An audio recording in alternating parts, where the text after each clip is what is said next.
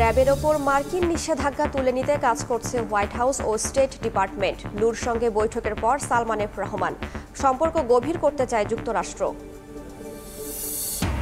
ডলারের দর বাড়ায় চাপে জ্বালানি খাত। গ্রাহকের কাঁধে আবারও চাপছে বিদ্যুতের বাড়তি দামের খরচ আইএমএফ এর প্রেসক্রিপশনে ক্ষুণ্ণ হবে ভোক্তা স্বার্থ, বলছে ক্যাব।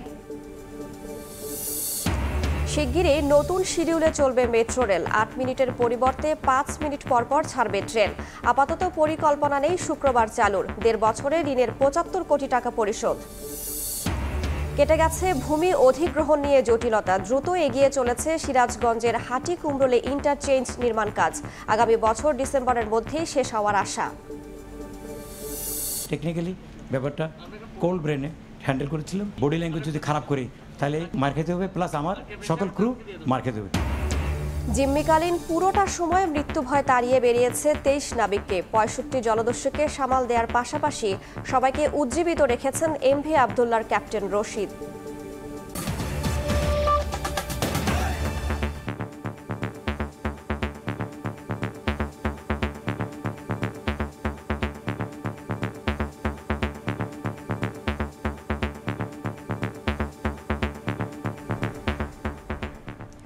ভোরের সময় সঙ্গে আছে আমি রাইসা জান্নাত।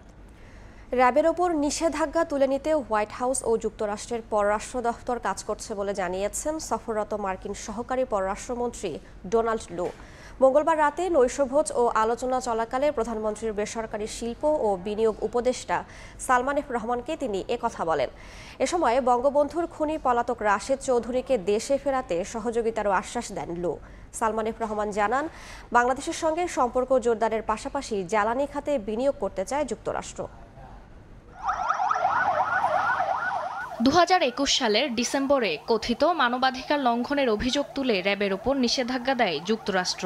এ নিয়ে ঢাকা, ওয়াশিংটন সম্পর্কে দূরত্ব তৈরি হয়। পরে বাংলাদেশের জাতীয় নির্বাচন নিয়ে দেশটির একের পর এক অনধিকার চর্চায় সেই দূরত্ব আরও বাড়তে থাকে। যদিও দ্বাদশ জাতীয় সংসদ নির্বাচনে নিরঙ্কুশ সংখ্যাগরিষ্ঠতা পেয়ে আওয়ামী লীগ সরকার গঠন করলে দেশে নিযুক্ত মার্কিন রাষ্ট্রদূত তার ভোল পাল্টাতে শুরু করেন। সেই সঙ্গে বোয়িং বিক্রিসহ বাণিজ্য সম্পর্ক জোরদারে তৎপর হয়ে ওঠেন।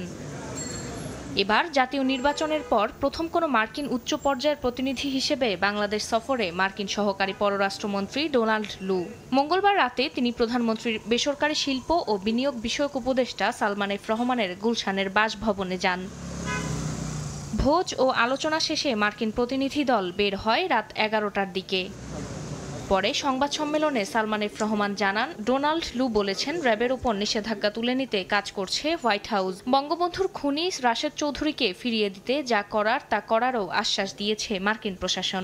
র্যাবের স্যাংশন সাথে সাথে আমাদের রশিদ চৌধুরী, যে বঙ্গবন্ধুর খুনির কথাটাও আমরা বলেছি, এদের ফেরত দেওয়ার ব্যাপারে। তো সেখানে সে বলছে কি, এই দুটোই ইস্যু র্যাব স্যাংশনও এবং খুনিটাকে ফেরত আনার ইস্যুটা তাদের জাস্টিস ডিপার্টমেন্টে এটা আছে। আমাদের হোয়াইট হাউস আর স্টেট ডিপার্টমেন্ট থেকে কিন্তু ইন্ডিপেন্ডেন্ট বলছে ওটা, ওরা স্বাধীনভাবে কাজ করে জাস্টিস ডিপার্টমেন্ট তো তারা বলেছে দ্যাট আমরা এটা পুশ করতেছি, আমরা জানি তারা বলছে কি, আমরা স্টেট ডিপার্টমেন্ট থেকে কিন্তু আমরা ফুল এখন সাপোর্ট দিচ্ছি। সালমান এফ রহমান জানান রাজনীতি নির্বাচন নিয়ে কোনো আলোচনা না হলেও বাংলাদেশের সঙ্গে সম্পর্ক জোরদার করতেই সফরে এসেছেন মার্কিন সহকারী পররাষ্ট্রমন্ত্রী। ভুটান নেপাল ভারত এর সাথে বাংলাদেশের যে আমাদের রিজনাল একটা আপনার বিদ্যুতের তারা কানেক্টিভিটি চায় সেটার জন্য তারা বলছে যে আমরা চাই যে আপনারা তো আমরা বলেছি যে আমরা তো চল্লিশ মেগাওয়াট নেপাল থেকে হাইড্রো পাওয়ার শুরু করেছি ভারতের মাধ্যমে এটা আসবে। তো ওটা শুনে ওনারা খুব খুশি হইলেন। বাংলাদেশের শ্রমনীতি ও শ্রম অধিকার নিয়ে বাড়তি কোনো আগ্রহ নেই। আলোচনায় লু জানিয়েছেন আইএলও সন্তুষ্ট হলেই সন্তুষ্ট হবে তার দেশ। ফারজানা আক্তার সময় সংবাদ ঢাকা। এর আগে গতকাল সকালে তিন দিনের সফরে ঢাকায় পৌঁছান মার্কিন সহকারী পররাষ্ট্রমন্ত্রী ডোনাল্ড লু। প্রথমেই গুটি কয়েক নাগরিক সমাজের প্রতিনিধির সঙ্গে সাক্ষাৎ করেন লু। জানতে চান নির্বাচন পরবর্তী গণতন্ত্র, মানবাধিকার, শ্রমিক অধিকার, অর্থনীতি ও জলবায়ু বিষয়ে। যদিও বৈঠক শেষে গণমাধ্যম এড়িয়ে যান মাহফুজ আনাম, নূর খান লিটনের মতো সুশীলরা। আবারও ঢাকায় যুক্তরাষ্ট্রের দক্ষিণ ও মধ্য এশিয়া বিষয়ক সহকারী পররাষ্ট্রমন্ত্রী ডোনাল্ড লু গত সতেরো মাসের মধ্যে এটি তার তৃতীয় বাংলাদেশ সফর। মঙ্গলবার সকাল সোয়া এগারোটায় শাহজালাল আন্তর্জাতিক বিমানবন্দরে তাকে স্বাগত জানান পররাষ্ট্র মন্ত্রণালয়ের উত্তর আমেরিকা বিভাগের মহাপরিচালক খন্দকার মাসুদুল আলম। বিমানবন্দর থেকে মার্কিন দূতাবাসে যান লু। সেখানে ঘণ্টাখানেক অবস্থানের পর গুলশানে মার্কিন রাষ্ট্রদূতের বাসায় সুশীল সমাজের প্রতিনিধিদের সঙ্গে বৈঠকে বসেন, যেখানে অংশ নেন ডেইলি স্টারের সম্পাদক মাহফুজ আনাম, শ্রমিক নেতা কল্পনা আক্তার, মানবাধিকার কর্মী নূর খান লিটন ও রানি ইয়ানিয়ান সহ কয়েকজন তরুণ অ্যাক্টিভিস্ট। তবে ঘণ্টা দেড়েকের বৈঠক শেষে গণমাধ্যমে এড়িয়ে যান মাহফুজ আনাম, নূর খান, লিটনরা। তরুণ জলবায়ু কর্মী সোহানুর রহমান জানান, নির্বাচন পরবর্তী গণতন্ত্র, মানবাধিকার, অর্থনৈতিক অবস্থা ও জলবায়ু নিয়ে মূলত আলোচনা হয়েছে। ফিলিস্তিন ইস্যুতে বাংলাদেশিদের মনোভাব সম্পর্কেও জানতে চান মার্কিন কর্মকর্তা। গণতন্ত্র, মানবাধিকার, আদিবাসী মানুষের অধিকার, শ্রমিক এবং এই আলোচনার একটা বড় জায়গা ছিল জলবায়ু পরিবর্তন এবং ওনার এই মিশনের দুইটা প্রধান জায়গা ছিল, একটা হচ্ছে অর্থনৈতিক সম্পর্ক পুনরুদ্ধার একটা জলবায়ু সম্পর্কে। রাজনৈতিক ইলেকশন পরবর্তী ইস্যুগুলি নিয়ে আলোচনা হয়েছে বাট সেটা এখানে আর বলা যাবে না। আমরা সবাই একমতে বলেছি, আমরা কেউ প্যালেস্টাইনে গণহত্যাকে আমরা সমর্থন করি না। নির্বাচনের আগে দুইবার বাংলাদেশ এসে ডোনাল্ড লু ছোটাছুটি করেন রাজনৈতিক মহলে। তবে এবারের সফরের এজেন্ডা পুরোটাই ভিন্ন। তিন দিনের সফরের উদ্দেশ্য সম্পর্ক জোরদার করা। মার্কিন পররাষ্ট্র দপ্তর বলছে, ঢাকা সফরে দুই দেশের সহযোগিতার সম্পর্ক ছাড়াও জলবায়ু সংকট ও দ্বিপক্ষীয় অর্থনৈতিক সম্পর্ক আরও জোরদার করা নিয়ে আলোচনা করবেন ডোনাল্ড লু। বুধবার পররাষ্ট্র সচিবের সঙ্গে বৈঠক করবেন ডোনাল্ড লু। এছাড়াও পররাষ্ট্রমন্ত্রী এবং বন ও পরিবেশ মন্ত্রীর সঙ্গেও আলোচনা হবে তার। তাজওয়াল মাহমিদ, সময় সংবাদ, ঢাকা। ডোনাল্ড লুর সফর মার্কিন ভিসা নীতি কিংবা নিষেধাজ্ঞা নিয়ে মাথা ব্যথা নেই সরকারের। সচিবালয়ে সাংবাদিকদের কথা বলেন আওয়ামী লীগের সাধারণ সম্পাদক ওবায়দুল কাদের। এ সময় তিনি বিএনপির ভারতীয় পণ্য বর্জনের আন্দোলন নিয়েও কঠোর সমালোচনা করেন। সমসাময়িক রাজনীতি ও বিভিন্ন ইস্যুতে হঠাৎ করেই মঙ্গলবার সকালে সচিবালয়ে সাংবাদিকদের সঙ্গে মতবিনিময় করেন আওয়ামী লীগের সাধারণ সম্পাদক সড়ক পরিবহন ও সেতুমন্ত্রী ওবায়দুল কাদের। প্রাসঙ্গিকভাবেই দেশের বর্তমান রাজনীতি ও সড়ক মহাসড়ক পরিস্থিতি নিয়ে সাংবাদিকদের নানা প্রশ্নের মুখোমুখি হন তিনি। তবে সবকিছু ছাপিয়ে উঠে আসে যুক্তরাষ্ট্রের দক্ষিণ ও মধ্য এশিয়া বিষয়ক সহকারী পররাষ্ট্রমন্ত্রী ডোনাল্ড লুয়ের ঢাকা সফর প্রসঙ্গ। দ্বাদশ জাতীয় সংসদ নির্বাচন সামনে রেখে চাপিয়ে দেয়া মার্কিন ভিসা নীতি ও নিষেধাজ্ঞার পরিপ্রেক্ষিতে নির্বাচনের পর মার্কিন পররাষ্ট্র দপ্তরের উচ্চ পর্যায়ের কোনো কর্মকর্তার প্রথম এই সফরকে সরকার কীভাবে দেখছে? জবাবে ডোনাল্ড লু মন্ত্রী নন এবং সরকারি আমন্ত্রণেও তিনি আসেননি মন্তব্য করে ওবায়দুল কাদের বলেন, তার সফর এবং মার্কিন কোনো নিষেধাজ্ঞা নিয়ে মাথা ব্যথা নেই সরকারের। তবে তলে তলে বিএনপি হয়তো এই সফরকে গুরুত্ব দিতে পারে বলে মন্তব্য করেন তিনি। তারা উপরে উপরে পাত্তা দেয় না, তলে তলে আবার কি করে? একজন সহকারী পররাষ্ট্রমন্ত্রী তাকে নিয়ে বাংলাদেশে তো মাতামতি আমরা কোনো প্রকার স্যাংশন ভিসা নীতি এগুলো আমরা কেয়ার করি। ভারতীয় পণ্য বর্জনের আন্দোলন বিএনপির ব্যর্থ চেষ্টা মন্তব্য করে ওবায়দুল কাদের বলেন, তাদের নেতাকর্মীরাই এখন আন্দোলনের প্রতি আস্থা হারিয়ে ফেলেছে। বিএনপির লোকেরাই ভারতীয় পণ্য বর্জন করবেন। ভারতীয় মশলা ছাড়া কি আমাদের দেশে চলে? তারপরে শাড়ি কাপড় আসবে। আমার মনে হয় এটা একটা উদ্ভট চিন্তা। সম্প্রতি ঘোষিত সড়ক মহাসড়কে যানবাহনের গতিসীমা নিয়ন্ত্রণে কঠোর ব্যবস্থা নেয়ার পাশাপাশি নতুন গণপরিবহন আমদানির পরেই শহর থেকে ফিটনেসবিহীন লক্কর ঝক্কর বাস তুলে নেয়ার পরিকল্পনার কথা জানান সড়ক পরিবহন ও সেতুমন্ত্রী ভালো বাস টেকসই বাস আমদানির ব্যাপারে যোগাযোগ অব্যাহত রেখেছি। প্রশ্ন আশিস সময় সংবাদ ঢাকা।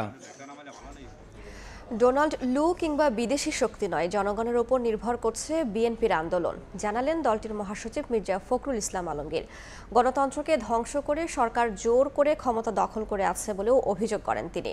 নেতাদের দাবি, ডোনাল্ড লুর সফর নিয়ে বিএনপির আগ্রহ নেই, আওয়ামী লীগই অতি উৎসাহী। সরকার পতনের এক দফা আন্দোলনের পরবর্তী কর্মসূচি কি হবে? আসছে দিনগুলোতে রাজপথের আন্দোলন কেমন রূপ নেবে তা নিয়ে আলোচনা করতে মঙ্গলবার বিকেলে গুলশান কার্যালয়ে গণ অধিকার পরিষদ ও গণতান্ত্রিক বাম ঐক্যের সঙ্গে বৈঠকে বসেন বিএনপির লিয়াজো কমিটি। ঘণ্টাব্যাপী বৈঠকে নেতৃত্ব দেন দলটির মহাসচিব মির্জা ফখরুল ইসলাম আলমগীর। বৈঠক শেষে গণমাধ্যমের মুখোমুখি হন মির্জা ফখরুল। ঢাকা সফররত দক্ষিণ ও মধ্য এশিয়া বিষয়ক সহকারী মার্কিন পররাষ্ট্রমন্ত্রী ডোনাল্ড লুর ঢাকা সফর নিয়ে তিনি বলেন, লুর সফর নিয়ে ভাবছে না বিএনপি। আন্দোলন সফল করতে লু কিংবা বিদেশি কারও উপর নির্ভর করছে না দলটি। বাংলাদেশের জনগণ কারও উপরে নির্ভর করে তার গণতান্ত্রিক অধিকার ফিরিয়ে আনবে, এটা আমরা মনে করি না। বাংলাদেশের জনগণ সবসময় তার নিজের শক্তিতে নিজের পায়ের উপর ভর করেই আমরা যে আন্দোলন করছি সম্পূর্ণ জনগণের শক্তিতেই নির্ভর করে আমরা আন্দোলন করছি গণতন্ত্রকে পুনরুদ্ধার করার জন্য। গণতন্ত্রের যে ধ্বংস করে দেওয়া হয়েছে সরকার যারা বিনা ম্যান্ডেটে জোর করে ক্ষমতা দখল করে আছে। এর আগে জাতীয় প্রেস ক্লাবের সামনে অবস্থান কর্মসূচিতে অংশ নিয়ে ডোনাল্ড লু প্রসঙ্গে বিএনপি নেতারা বলেন, লুর সফর নিয়ে ক্ষমতাসীন দলই অতি উৎসাহী। বিদেশের ওপর নির্ভর করে ক্ষমতায় থাকতে চায় আওয়ামী লীগ। কোথায় লু? কোথায় আপনি? কোথায় আমেরিকা? সেটার বিষয়ে বাংলাদেশ বিএনপি জাতীয়তাবাদী দলের মাথা ব্যথা নেই। লু নিয়ে এত উৎসাহিত আমরা নয়। লু নিয়ে উৎসাহিত আপনারা। লু কি বার্তা নিয়ে আসছে? সেটা আপনারাই জানেন। বিদেশের নির্ভরতায় যারা দেশ পরিচালনা করে আর যাই হোক সরকারে থাকতে পারে কিন্তু জনগণের হৃদয়ের তাদের স্থান হয় না। পরিকল্পিতভাবে সরকার গণতন্ত্রকে ধ্বংস করছে বলেও অভিযোগ বিএনপি নেতাদের। জনগণ মার্জিয়া মুমু সময় সংবাদ ঢাকা। অন্য প্রসঙ্গ, ডলারের দাম বৃদ্ধি, আইএমএফের চাপ, বৈশ্বিক বাস্তবতা, সব মিলিয়ে ত্রিমুখী সংকটে বিদ্যুৎ ও জ্বালানি খাত। এ অবস্থায় আবারও চাপছে গ্রাহকের ওপর দাম বৃদ্ধির খরচ। আইএমএফের পরামর্শে ঘাটতি কমাতে এখন থেকে প্রতি তিন মাস অন্তর বিদ্যুতের দাম বাড়ানোর চিন্তা ভাবনা নীতি নির্ধারকদের, যা চলবে তিন বছর ধরে। তবে ভোক্তা অধিকার সংগঠন ক্যাব বলছে, আইএমএফের প্রেসক্রিপশন আরও নাজুক করবে গ্রাহক স্বার্থ আর জ্বালানি নিরাপত্তাকে। ফারুক ভূঁইয়া রবিনের রিপোর্ট। নানামুখী সংকটে সাম্প্রতিক বছরগুলোতে ধুঁকতে থাকা বিদ্যুৎ ও জ্বালানি খাত সমানভাবে বিপাকে ফেলছে গ্রাহকদেরও। দু হাজার দশ সাল থেকে দু হাজার বিশ সাল পর্যন্ত গ্রাহক পর্যায়ে বিদ্যুতের দাম বেড়েছিল নয়বার। কিন্তু গত দেড় বছরেরও কম সময়ে দাম বাড়ে চারবার। দু হাজার দশ সালের ফেব্রুয়ারিতে গ্রাহক পর্যায়ে তিন টাকা তিয়াত্তর পয়সায় থাকা ইউনিট প্রতি বিদ্যুতের গড় দাম একশো চল্লিশ শতাংশ বেড়ে এখন দাঁড়িয়েছে আট টাকা পঁচানব্বই পয়সা। আর এই অবস্থা এবার আরও নাজুক হওয়ার পালা। বলা যায়, আমদানি নির্ভর বিদ্যুৎ জ্বালানি খাত প্রায় পুরোটাই ডলার কেন্দ্রিক। তেল, কয়লা এলএনজি কিংবা ভারত থেকে বিদ্যুৎ আমদানি, বিদ্যুৎ কেন্দ্রের দেনা, বিদেশি কোম্পানির পাওনা, সবই পরিশোধ হচ্ছে ডলারে। কিন্তু ডলারের আনুষ্ঠানিক দাম এক লাফে সাত টাকা করে বাড়ানোই আবারও বাড়তি ব্যয়ের শঙ্কা বিদ্যুৎ জ্বালানি খাত ঘিরে। আবার বিশ্ববাজারে নানামুখী অনিশ্চয়তাও কাটেনি এখনও তার উপর আন্তর্জাতিক মুদ্রা তহবিল বা আইএমএফ এর কাছ থেকে ঋণ নিতে গিয়ে বিদ্যুৎ জ্বালানি খাতকে ভর্তুকি মুক্ত করা সহ নানা সংস্কারের পথে হাঁটতে অনেকটি বাধ্য হচ্ছে সরকার। আর এসবের ভার গিয়ে চাপছে সাধারণ গ্রাহকের কাঁধে। প্রাইস প্রতি মাসে বাড়বে, কমবে। এটা হলো তেলের ব্যাপারে। ডলারের দাম বৃদ্ধি হয়েছে, আমাদের ভর্তুকির অ্যাডজাস্টমেন্ট আছে। এগুলি করতে গিয়ে আমরা বছরে বিদ্যুতের প্রাইস অ্যাডজাস্টমেন্ট প্রায় চার থেকে পাঁচ বারের মতো করব। তবে ভোক্তা অধিকার সংগঠন ক্যাব মনে করে, অযৌক্তিক ব্যয় কমানো, ট্যাক্স ভ্যাটের মতো রাজস্ব খাত থেকে বিদ্যুৎ জ্বালানি খাতকে মুক্ত রাখা সহ কিছু নীতি সংস্কার করলে দাম না বাড়িয়েও ঘাটতি সমন্বয় সম্ভব। জ্বালানি নিরাপত্তা বিপর্যস্ত হচ্ছে, আইএমএফ এর কথা, এতে তো কোনো সন্দেহ নেই। বিদ্যুতের দাম না বৃদ্ধি করে সমন্বয় করা সম্ভব, ব্যয় কমায়, কতটা খরচ, ব্যয় বাড়ায়, লুণ্ঠন করা হয়েছে, সে বিষয়টিও তো এখন বিতর্কিত বিষয় হয়ে গেছে। জ্বালানি সুবিচার নিশ্চিত করার কৌশল এগুলো নয়। এগুলো বরঞ্চ জনগণের লুণ্ঠন হচ্ছে সেই লুণ্ঠনটাকে সুরক্ষা সুরক্ষা দেওয়ারই নামান্তর। দেশে জ্বালানি তেলের নব্বই শতাংশের বেশি আমদানি নির্ভর হওয়ায় টাকার অবমূল্যায়নের কারণে নেতিবাচক প্রভাব পড়তে পারে কৌশলগত এই পণ্যটির দামেও। বলার অপেক্ষা রাখে না নতুন চ্যালেঞ্জে দেশের বিদ্যুৎ ও জ্বালানি খাত। তবে বাস্তবতা হচ্ছে নীতি প্রণয়নে নেই গ্রাহকের কোনো হাত আবার নতুন নতুন বৈশ্বিক বাস্তবতাতেও নেই সাধারণ মানুষের দায়। কিন্তু দিন শেষে এসবের দায়ভার চাপছে গ্রাহকের কাঁধেই ফারুক ভিয়া, রবিন, সময় সংবাদ, ঢাকা। শিগগিরই নতুন শিডিউলে চলবে মেট্রো রেল। যাত্রী চাহিদা বিবেচনা করে আট মিনিটের পরিবর্তে পাঁচ মিনিট পরপর ছাড়বে ট্রেন। যদিও আপাতত পরিকল্পনা নেই শুক্রবারে চালুর। এদিকে দেড় বছরের মধ্যেই এমআরটি লাইন সিক্স প্রকল্পের ঋণের পঁচাত্তর কোটি টাকা পরিশোধ করেছে বলে জানিয়েছেন ডিএমটিসিএল এর ব্যবস্থাপনা পরিচালক রাশেদ লিমনের রিপোর্ট। পদ্মা সেতুর পরে মেট্রো রেলই দ্বিতীয় কোনো মেগা প্রকল্প যেখানে শুরুর দিন থেকেই প্রত্যাশা আর প্রাপ্তির হিসেবটা মিলে যাচ্ছে খাপে খাপ। শুরু থেকেই এমআরটি কর্তৃপক্ষ যেন এগিয়ে যাচ্ছে তালে তাল মিলিয়ে। উত্তরা থেকে আগারগাঁও চার ঘণ্টা থেকে শুরু। এখন মতিঝিল পর্যন্ত চলছে সকাল থেকে প্রায় রাত দশটা পর্যন্ত। তবু যেন তিল ধারণের ঠাঁই নেই। পিক অফ পিক বলে কিছুই নেই এই দ্রুত জানে সবসময়ই যেন যাত্রীতে ঠাসা। তবু নেই অভিযোগ সড়কের দীর্ঘ যানজট থেকে মুক্তি যেন বড় পাওয়া। অল্প কিছু ট্রিপ সংখ্যা বাড়াইলেই যথেষ্ট। সামাল দেওয়া সম্ভব। এখন পর্যন্ত আমি খুব হ্যাপি ট্রেন তো বাড়ালে ভালো হয় ভিতরে গ্যাদারিং হয়ে যায় প্রচুর। আমার মনে হচ্ছে যে ঢাকার জ্যামজটও কমে গেছে। মাঝে মাঝে মনে হয় আমরা বোধহয় বিদেশে আছি। এখনও পর্যন্ত সার্ভিস ভালোই পাইছে। এই ভিড়ের কারণে আমি শাহবাগে টিকিট কাটছি কিন্তু আমার বাচ্চা নেমে গেছে আমি নামতে পারিনি। এসে কারণ বাজার নামলাম। পিক আওয়ারে একটু আরেকটু দ্রুত বা ঘন ঘন ট্রেন সার্ভিস দেওয়া যায় তাহলে হয়তো আমাদের জন্য উপকার হয়। তবে এই যাত্রী চাপ সামলাতে এবার নতুন পরিকল্পনা নিয়েছে ডিএমটিসিএল। একটি ট্রেন থেকে অপর ট্রেন আসার সময় অর্থাৎ হেডওয়ে আট মিনিট থেকে পাঁচ মিনিটে নামিয়ে আনার কথা ভাবছেন তারা। সেক্ষেত্রে যাত্রী ওঠানামার ক্ষেত্রে দেয়া হবে বাড়তি নজরদারি। পিক আওয়ারে যেটাকে আমরা মূল পিক আওয়ার বলি সেই সময়টাতে কীভাবে আমাদের নিয়ে যাওয়া যায় সেই বিষয়টা নিয়ে আমরা কাজ করছি। পনেরো তারিখের পরে আমাদের এখানে একটা ফুল টিমের সামনে একটা প্রেজেন্টেশন হবে। ভিজিবিদ অন্যান্য দেশে যারা পাঁচ মিনিটে আসছে, তাদের উদাহরণগুলো তুলে ধরা হবে। এদিকে এই রেলপথ নির্মাণ ব্যয় হয়েছে প্রায় তেত্রিশ হাজার পাঁচশো কোটি টাকা যার প্রায় বিশ হাজার কোটি টাকা উন্নয়ন সহযোগী সংস্থা জাইকা আর বাকি টাকা যোগান দিয়েছে বাংলাদেশ সরকার। এরই মধ্যে এই ঋণের তিন কিস্তি পরিশোধ করেছে কর্তৃপক্ষ।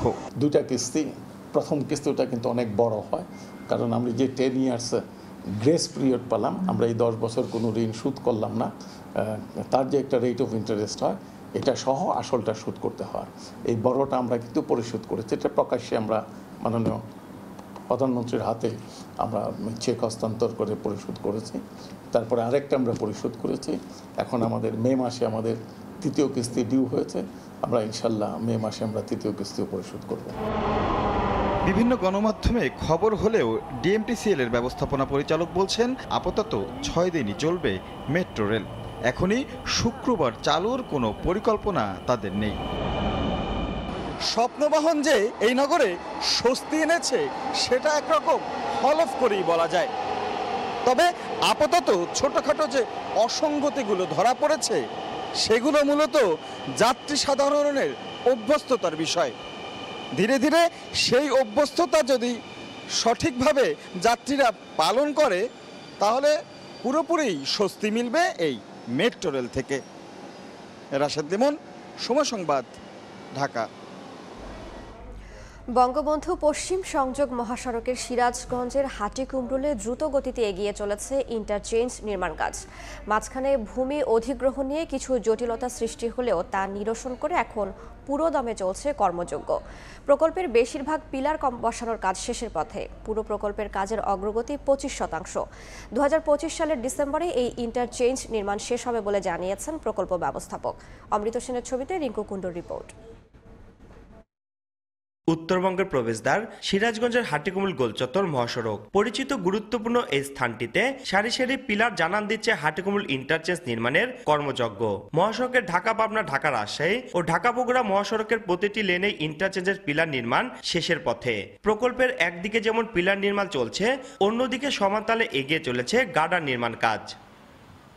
মাঝপথে এক বছর ভূমি অধিগ্রহণে কিছু জটিলতা সৃষ্টি হলে তা নিরসন করে এখন পুরোদমে চলছে নির্মাণযোগ্য বেশিরভাগই পাইলের কাজ শেষ হয়ে গিয়েছে, মাটির কাজের অগ্রগতি আছে প্রায় সত্তর ভাগ, এবং PR PR cap, pile pile cap এগুলো নির্মিত হচ্ছে। তো আশা করা যায় ডিসেম্বর দুই হাজার পঁচিশের মধ্যে আমরা এই কাজ শেষ করতে পারব। প্রকল্পটি বাস্তবায়ন হলে মহাসড়কের যানজট নিরসনের পাশাপাশি কমবে সড়ক দুর্ঘটনা বলে মনে করেন পরিবহন সমিতির নেতারা। কোনো ধরনের কোনো যানজট হবে না এবং দুর্ঘটনা একদম কমে আসবে। বিশেষ করে দুটি ঈদ সহ অন্যান্য ছুটিগুলোতে মানুষ খুব সহজেই উত্তর এবং দক্ষিণ পশ্চিম অঞ্চলের জেলাগুলোতে খুব স্বল্প সময়ের মধ্যে পৌঁছাতে পারবে। আধুনিক মানের এই ইন্টারচেঞ্জের মাধ্যমে এই অঞ্চলে ব্যবসা বাণিজ্যে অগ্রগতির পাশাপাশি দেশের অর্থনীতিতে গতি সঞ্চার হবে বলে জানান প্রকল্প সংশ্লিষ্টরা। ইন্টারচেঞ্জটি নির্মিত হলে সাধারণ মানুষের যান চলাচলের পাশাপাশি আমাদের যে ব্যবসা বাণিজ্য এগুলো আরও বহুলাংশে বেড়ে যাবে। প্রায় সাতশো তেতাল্লিশ কোটি টাকা ব্যয় ইন্টারচেঞ্জটি নির্মাণ করছে China Railway Construction Bridge Engineering Company নামে চীনা ঠিকাদারি প্রতিষ্ঠান। রিঙ্কু কুণ্ডু সময় সংবাদ সিরাজগঞ্জ। জীবন মৃত্যুর সন্ধিক্ষণ পেরিয়ে স্বজনের কাছে ফিরে আবেগ আপ্লুত এমভি আবদুল্লার তেইশ নাবিক। প্রতিকূলতা পেরিয়ে সুস্থভাবে ফেরায় সবার প্রতি কৃতজ্ঞতা জানান তারা। চট্টগ্রাম বন্দরের এনসিটি জেটিতে পরিবারের সদস্যরা জানান, ঈদের চেয়েও খুশির দিন তাদের কাছে। আরও জানাচ্ছেন ফেরদৌস লিপি। অনিশ্চিত যাত্রা শেষে তেইশ নাবিক সামনাসামনি স্বজনদের। প্রিয় সন্তানের মুখ দেখে আনন্দে আত্মহারা বাবা মা। সন্তানের চোখে মুখেও নাবিক বাবাকে কাছে পাওয়ার উচ্ছ্বাস। তেইশ নাবিক ফেরার পর আবেগঘন পরিবেশ তৈরি হয় চট্টগ্রাম বন্দরের এনসিটি জেটি জুড়ে। শুভেচ্ছা জানান এমবি আবদুল্লার অধিনায়ক সহ নাবিকরা। নতুন জীবনের অনুভূতি জানান সময় সংবাদের কাছে। অন্যরকম আনন্দ রাখতেছে আজকে আমার ছেলেকে পাইছি এইটা বাসায় প্রকাশ করতে পারতেছি। দ্বিতীয়বার জীবন পেলে মানুষের যেরকম অনুভূতি হয় ওই রকমই একটা অনুভূতি আর কি। জাহানমণি জেটিতে নোঙর করার পরপরই উপস্থিত সবার আবেগে জাহাজ থেকে নামতেই বেগ পেতে হয় নাবিকদের। জীবন মৃত্যুর সন্ধিক্ষণ থেকে ফিরে আসা নাবিকরা জানান, জিম্মি দশার সেই তিক্ত অভিজ্ঞতা। জানান, সরকার, জাহাজ মালিক সহ সবার প্রতি কৃতজ্ঞতা। কোম্পানি আন্তরিকতার কারণে আমরা আন্তরিকতার আমরা অত্যন্ত কম সময়ের মধ্যে চলে আসতে পেরে আমরা অত্যন্ত খুশি। দীর্ঘ চৌষট্টি দিনের ভয়াল যাত্রা শেষে সন্তানের ফিরে আসায় সন্তানের প্রিয় খাবার রান্না করে অপেক্ষা করছেন মা। আবার বাবা নাবিককে কাছে পেয়ে প্রচণ্ড ভিড়েও ছোট্ট সন্তানটি হাত ছাড়তে নারাজ।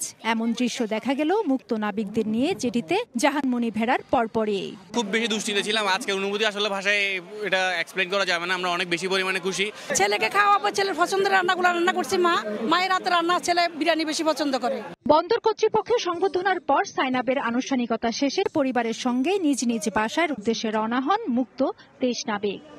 দীর্ঘ এক দুঃস্বপ্নের যাত্রা শেষে এমবি আবদুল্লাহ তেইশ নাবিক পরিবারের কাছে ফিরেছে ঠিকই, তবে আবারও নতুন করে সমুদ্র জয়ের স্বপ্ন দেখছে এই নির্ভীক নাবিকরা।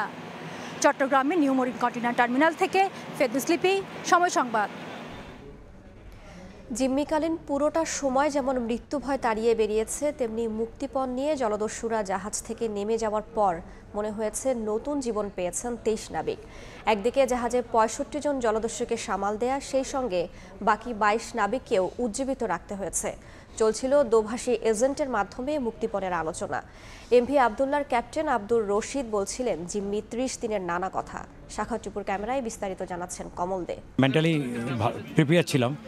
যে যদি আমি এদের সাথে খারাপ আচরণ করি, কোনো বল প্রয়োগ বা বডি ল্যাঙ্গুয়েজ যদি খারাপ করি, তাহলে আমাকে মের খেতে, মার খেতে হবে প্লাস আমার সকল ক্রু মার খেতে হবে।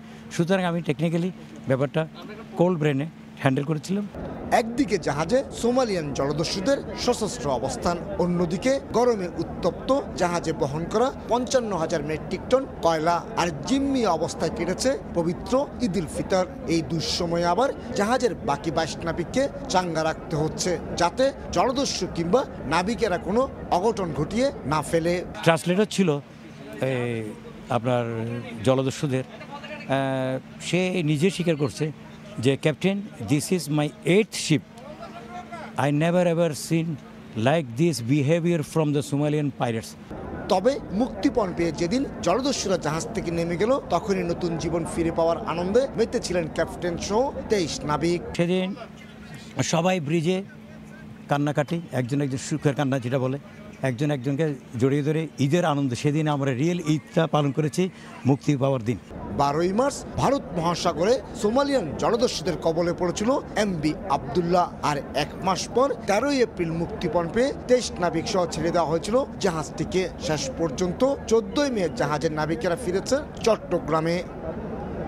এক মাস সোমালিয়ান জলদস্যুদের অস্ত্রের মুখে থাকা। এরপর মুক্তি এবং আরেক মাস আবার সাগরে জাহাজ চালানো। এ দুই মাস পর এ জিম্মি তেইশ নাবিক ফিরে যাচ্ছে স্বজনদের কাছে। প্রথমে তারা বলেছিল, ঈদের আনন্দ হবে সেদিন, যেদিন তাদের জিম্মি স্বজনরা ফিরে আসবে। এখন জিম্মি স্বজনরা ফিরে এসেছে, এখন তাদের ঈদের আনন্দ। কমল দে, সময় সংবাদ, চট্টগ্রাম। ফের মিয়ানমার সীমান্তে উত্তেজনা। রাখাইন রাজ্যে গোলাগুলির বিকট শব্দে কাঁপছে টেকনাফ, আতঙ্কে বাসিন্দারা।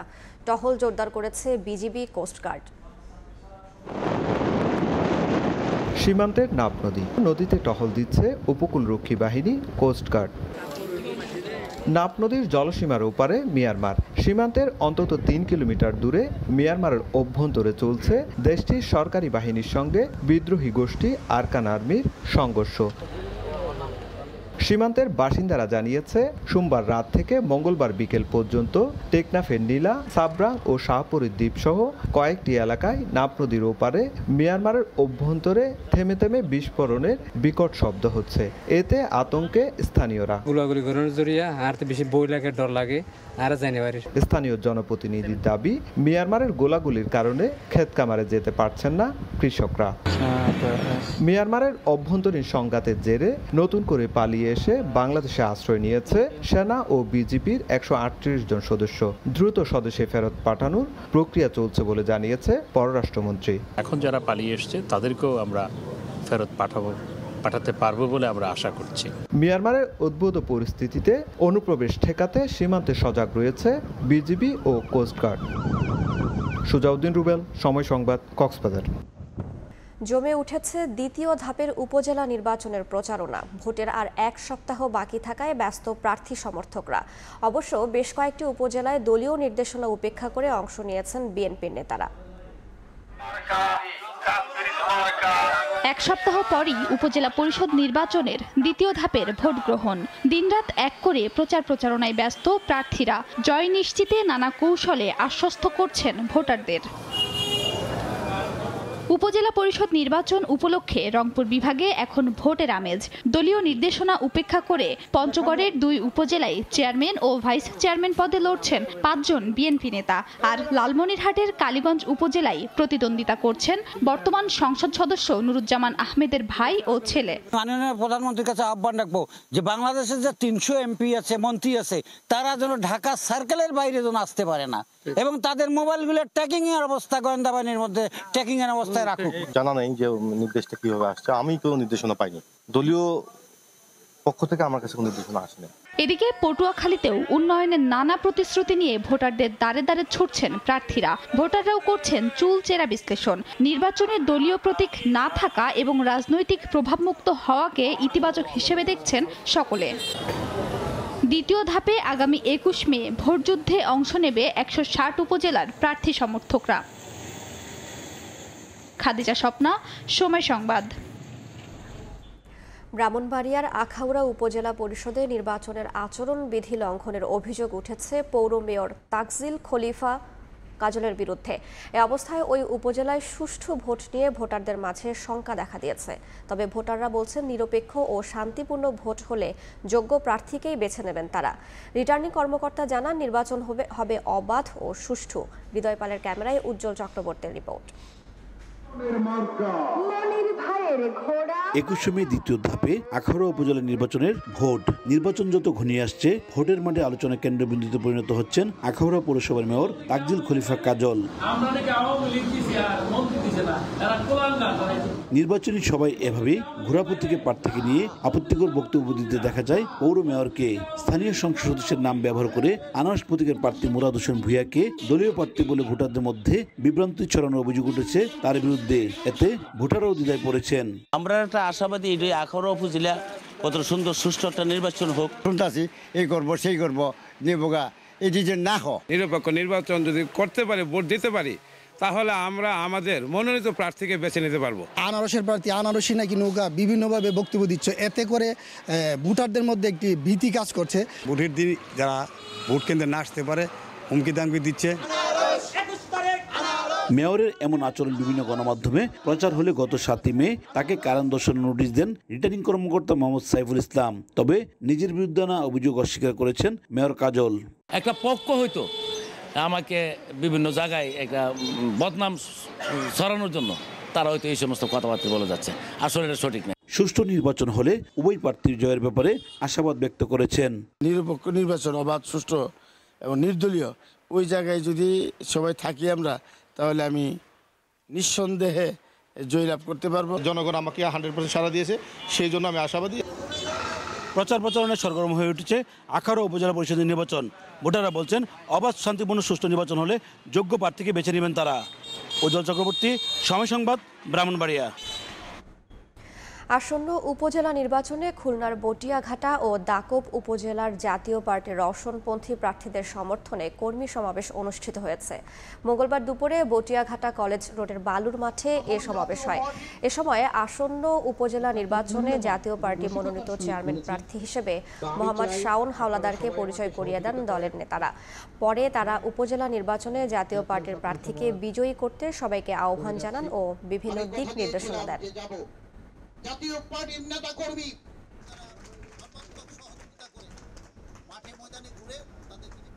কোনো নিয়ম নীতির তোয়াক্কা না করে সড়কের পাশের সরকারি গাছ কেটে ফেলার অভিযোগ উঠেছে বগুড়ার গাবতলী উপজেলা বিএনপি নেতা এ কিউ এম সুমনের বিরুদ্ধে। গ্রামবাসীর অভিযোগ, সুমনের নির্দেশে অর্ধ শতাধিক অস্ত্রধারী লোকজন মোটরসাইকেলে এসে কেটে ফেলে বারোটি ফলদ গাছ। তবে অভিযুক্ত সুমনের দাবি, সড়ক প্রশস্তের কাজে গ্রামবাসীকে সঙ্গে নিয়ে কাটা হয়েছে গাছ। বিস্তারিত জুম্মান সাদিক জ্যাভলিনের রিপোর্টে ক্যামেরায় ছিলেন আবুল কালাম আজাদ।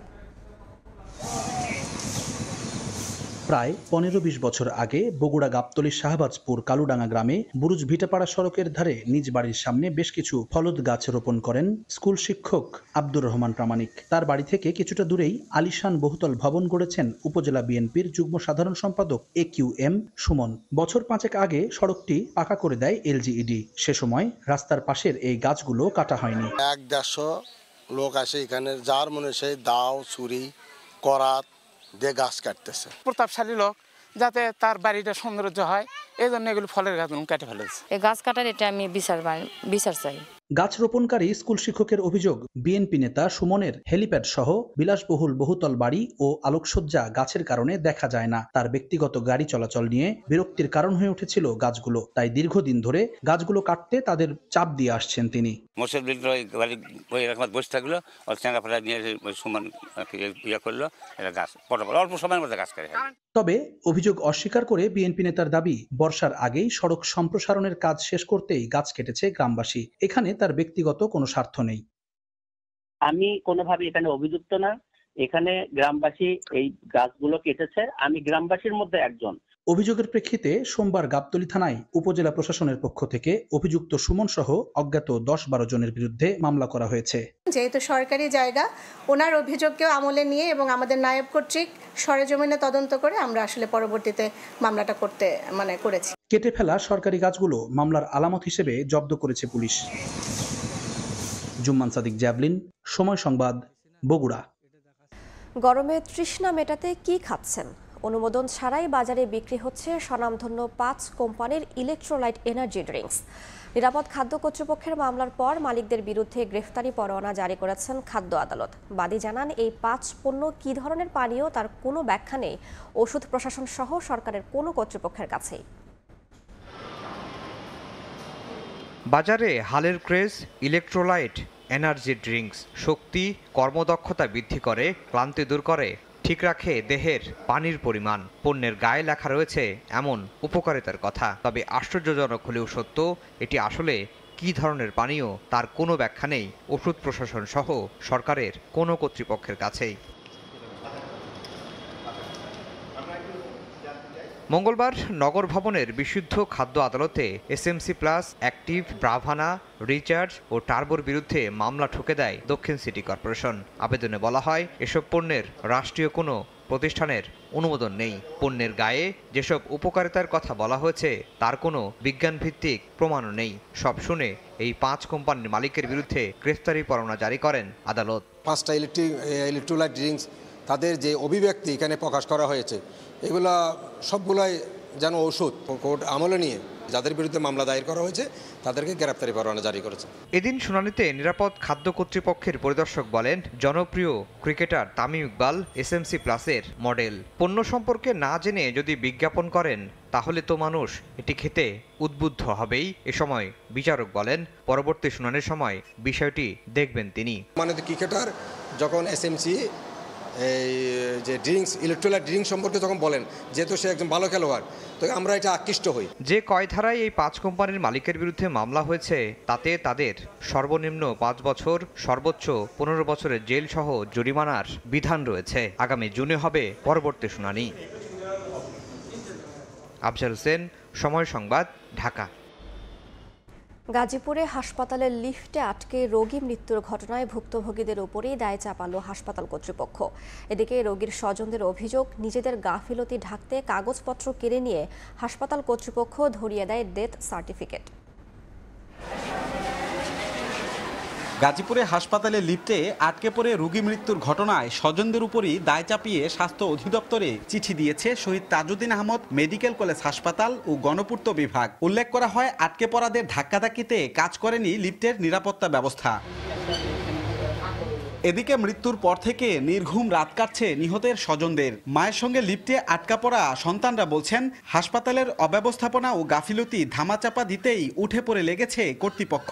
আমাদের কাছে আসে নাই তারা নিজেদের মতো তদন্ত করছে নিজের নিজেরাই রিপোর্ট দিছে।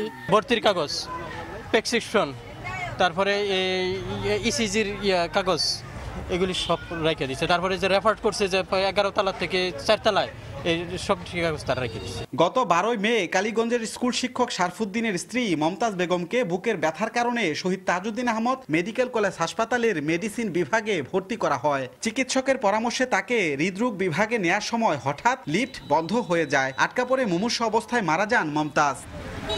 রাজিবুল হাসান, সময় সংবাদ, গাজীপুর। বাংলাদেশি পাট পণ্য রফতানিতে ভারতকে অ্যান্টি ডাম্পিং শুল্ক তুলে নেওয়ার আহ্বান জানিয়েছেন বস্ত্র ও পাট মন্ত্রী জাহাঙ্গীর কবির নানক। সময়মতো ভালো জাতের পাটের বীজ দিতে ভারতীয় হাই কমিশনারকে অনুরোধ করেন তিনি। এছাড়া ভারতীয় ভিসা জটিলতা কমিয়ে দ্রুত সময়ে দীর্ঘমেয়াদী ভিসা দেওয়ার জন্য অনুরোধ করা হয়েছে বলেও জানিয়েছেন মন্ত্রী। বাংলাদেশের পাট পণ্য রপ্তানি হয় মূলত ভারত, চীন, তুরস্ক ও মধ্যপ্রাচ্য সহ কয়েকটি দেশে। তবে পাট পণ্য রপ্তানির উপর দু হাজার সতেরো সালে এন্টি ডাম্পিং শুল্ক আরোপ করে ভারত সরকার। মূলত দেশটির স্থানীয় বাজারের চেয়ে কম দামে বাংলাদেশ থেকে পাট পণ্য রপ্তানি হওয়ায় এন্টি ডাম্পিং শুল্ক আরোপ করে ভারত। পরে দু হাজার বাইশ সালে এন্টি ডাম্পিং শুল্ক আরোপের মেয়াদ দু হাজার সাতাশ সাল পর্যন্ত বাড়ায় ভারত। এতে বাংলাদেশ থেকে রপ্তানি হওয়া পাটপণ্যে প্রতি টনে ছয় ডলার থেকে তিনশো ডলার পর্যন্ত এন্টি ডাম্পিং শুল্ক বসানো হয়। ভারতের এই সিদ্ধান্তে হতাশা প্রকাশ করেন বাংলাদেশের বেসরকারি পাটকল মালিকেরা। অপরদিকে, এই সুযোগ কাজে লাগিয়ে চীন ও তুরস্ক পাটপণ্যের দাম কমিয়ে দেয় বাজার ধরে রাখতে এক ধরনের অসম প্রতিযোগিতা শুরু হয় রপ্তানিকারকদের মধ্যে। এমন বাস্তবতায় মঙ্গলবার দুপুরে সচিবালয়ে ঢাকায় নিযুক্ত ভারতের হাইকমিশনার প্রণয় কুমার ভার্মার সঙ্গে বৈঠক করেন বস্ত্র ও পাটমন্ত্রী জাহাঙ্গীর কবির নানক। বৈঠকে উঠে আসে এন্টি ডাম্পিং শুল্ক আরোপের প্রসঙ্গ। এ সময় পাটপণ্য রপ্তানিতে এন্টি ডাম্পিং শুল্ক প্রত্যাহারের পাশাপাশি বাংলাদেশকে ভালো জাতের পাট বীজ দিতে ভারত সরকারের প্রতি অনুরোধ জানান মন্ত্রী। বলেন, ভারতের লোকসভা নির্বাচনের পরেই এ বিষয়ে আলোচনা করে সিদ্ধান্ত নেয়ার আশ্বাস দিয়েছেন হাইকমিশনার আমাদের প্রায় সত্তর থেকে পঁচাত্তর ভাগ পাট বীজ পাট বীজ আমরা ভারত থেকে আমদানি করে থাকি। আমরা বলেছি যে আমাদেরকে মানসম্পন্ন পাট বীজ দিতে হবে। অ্যান্টি ডাম্পিংয়ের ব্যাপারে আলোচনা হয়েছে। ভারতে নির্বাচনের পরে এটি নিয়ে দুই সরকারের সঙ্গে আলোচনা হবে। এবং আমরা আশা করি কোনো ফলপ্রসূ ফলাফল আসবে। এ সময় ভারতে চিকিৎসা নেওয়া ও ভ্রমণ সুবিধার জন্য দেশটির ভিসা প্রক্রিয়া সহজ করারও আহ্বান জানানো হয়। মানুষের যে কিছু ভোগান্তি হচ্ছে ভারতের ভিসার জন্য সে বিষয় নিয়েও আমরা তাদেরকে আলোচনা করেছি যে ভিসা ব্যবস্থাটি আরও সহজ করার জন্য এবং অল্প সময়ের মধ্যে যাতে মানুষ ভিসা যেতে পারে। এদিকে রাজনৈতিক কোনো ইস্যু না পেয়ে বিএনপির ভারতীয় পণ্য বর্জনের আন্দোলন অর্থহীন বলেও মন্তব্য করেন বস্ত্র ও পাটমন্ত্রী। প্রসূন আশিস সময় সংবাদ ঢাকা। এক ধাপে সাত টাকা বাড়িয়ে একশো সতেরো টাকা নির্ধারণ করায় অস্থির ডলারের বাজার। কেন্দ্রীয় ব্যাংকের ঘোষণার পর থেকেই দেখা দিয়েছে ডলার সংকট। ব্যাংকগুলো বলছে বৈদেশিক মুদ্রার অতিরিক্ত দামের প্রভাব পড়বে নিত্যপণ্যে যা অস্বস্তিতে ফেলবে সাধারণ মানুষকে। আইএমএফের প্রেসক্রিপশন অনুযায়ী খোলা বাজার আর ব্যাংকিং রেট এক করতেই এক ধাপে ডলারের দাম বাড়ানো হয়েছে ষাট টাকা। বিনিময় মূল্য একশো সতেরো টাকা নির্ধারণ করায় নেতিবাচক প্রভাব পড়েছে বৈদেশিক মুদ্রা বাজারে। ঘণ্টার পর ঘণ্টা পার হলেও মানি এক্সচেঞ্জগুলোতে দেখা মিলছে না কোনো ক্রেতা বা বিক্রেতার। ওই মানুষ আসলে বেচতে চায় একশো পঁচিশ টাকা পাবো কোথায়? আমরা তো পঁচিশ টাকা বেচতে পারি না।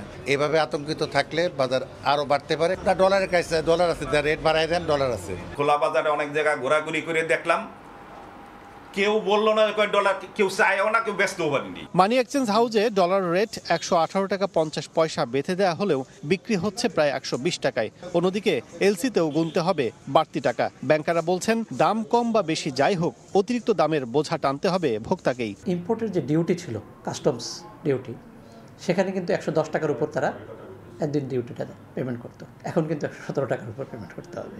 অর্থাৎ ডিউটি কিন্তু বেড়েছে। এই কারণে কিন্তু যারা আলটিমেট কনজিউমার তারা কিন্তু এডিশনাল পেমেন্ট করতে হবে। এদিকে ডলারের কৃত্রিম সংকট সৃষ্টি ঠেকাতে বাংলাদেশ ব্যাংকের নজরদারি বাড়ানোর পরামর্শ অর্থনীতিবিদদের। এনফোর্সমেন্টটা সবচেয়ে ইম্পর্টেন্ট একটা রেট শুধুমাত্র বলে দিলেই হলো না সেটা যাতে বাস্তবায়িত হয় বাজার যেন চলে সেটা ব্যবস্থা করতে হবে। ডলারের দাম একশো দশ টাকা বিনিময় মূল্য থাকাকালীনও কিন্তু হয়েছে একশো পনেরো থেকে একশো সতেরো টাকায় আর নতুন করে একশো সতেরো টাকা নির্ধারণ করায় পরিস্থিতি কোথায় গিয়ে দাঁড়াবে তা নিয়ে শঙ্কায় খাত সংশ্লিষ্টরা। কাজল আবদুল্লাহ সময় সংবাদ ঢাকা।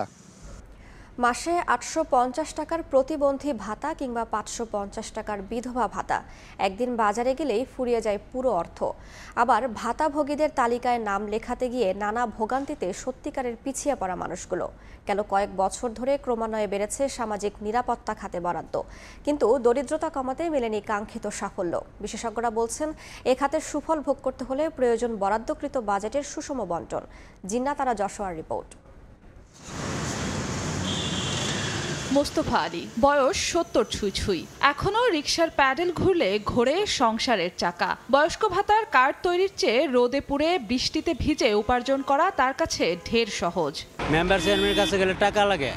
টাকা জোগাড় করতে পারি না, বয়স্ক ভাতা করতে পারি না। কাঠ আনতে পাঁচ হাজার, ছয় হাজার টাকা লাগে। এই জন্য করতে পারি না।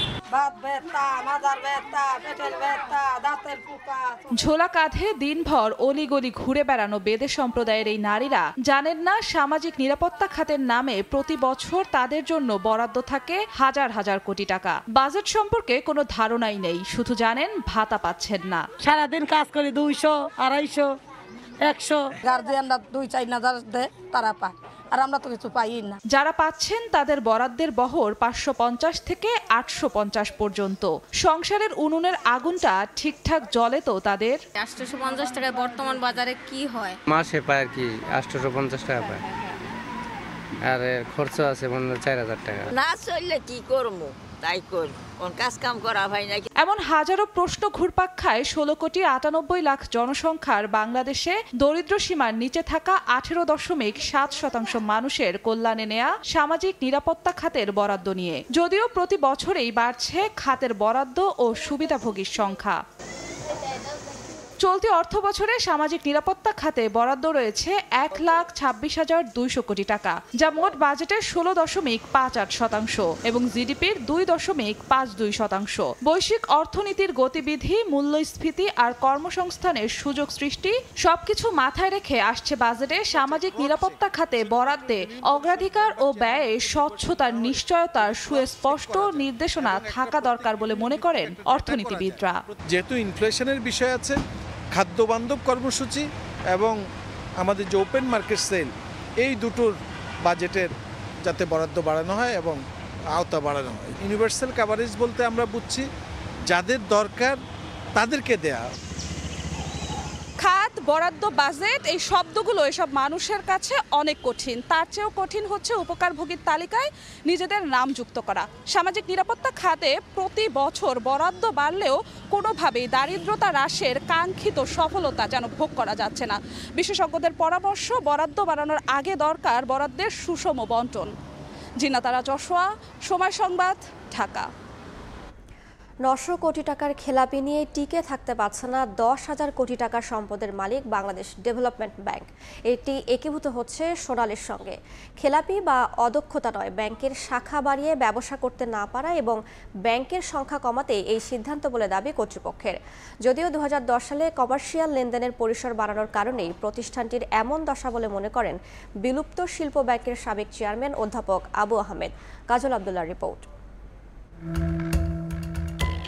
বিপর্যস্ত দুটি আর্থিক প্রতিষ্ঠান, বাংলাদেশ শিল্প ব্যাংক, বিএসবি ও বাংলাদেশ শিল্প ঋণ সংস্থা, বিএসআরএস, একীভূত হয়ে গড়ে ওঠে Bangladesh development bank limited, BDBL, যার বাণিজ্যিক যাত্রা শুরু হয় দুই হাজার দশ সালে তিন জানুয়ারি। কিন্তু দেড় দশকেও ঘুরে দাঁড়াতে পারেনি বছরের পর বছর ধুঁকতে থাকা রাষ্ট্র মালিকানাধীন ব্যাংকটি। অবশেষে এবার নিজেই একীভূত হচ্ছে সরকারি আরেক ব্যাংক সোনালীর সঙ্গে। কেন এমন পরিণত হলো শিল্প ঋণকে অগ্রাধিকার দেয়া বিডিবিএল এর? তথ্য বলছে, আমানত ভালো অবস্থানে থাকলেও বিডিবিএল এর কোণঠাসার একটি কারণ, ঋণ খেলাপিদের দৌরাত্ম তবে শুধু কি খেলাপি ঋণ না অন্য কিছু ব্যাংকটিকে কোণঠাসা করেছে, তা জানতে আমরা ব্যাংকটির বিস্তারিত জানার চেষ্টা করি। তথ্য উপাত্ত বলছে, গ্রাহকের তিন হাজার কোটি টাকার দায় ছাড়াই আইসিবিতে শেয়ার, বহুতল কয়েকটি ভবন সহ কয়েক একর জায়গা, দুটি সাবসিডিয়ারি প্রতিষ্ঠান, মূলধন রিজার্ভ সহ ব্যাংকটির বর্তমান সম্পদ রয়েছে দশ হাজার কোটি টাকার। অন্যদিকে মোট খেলাপি ঋণ আটশো বাহাত্তর কোটি টাকার বিপরীতে ব্যাংকটিতে বন্ধকি জমি রয়েছে দু হাজার কোটি টাকা। সমৃদ্ধ সম্পদ আর স্বল্প পরিমাণ খেলাপি, এরপরও কেন আবারও মার্জারের পথে বিডিবিএল? উত্তর খুঁজতে আমরা ব্যাংকটির প্রধান কার্যালয়ে। এমডি জানান, ভিন্ন কথা। ক্লাসিফাইড লোন আছে, আর- এখন আটশো বাহাত্তর কোটি টাকা। এই আটশো বাহাত্তর কোটি টাকার এগেনস্টে তো গ্রাহকের যে বন্ধকৃত সিকিউরিটি সেটা তো আছেই।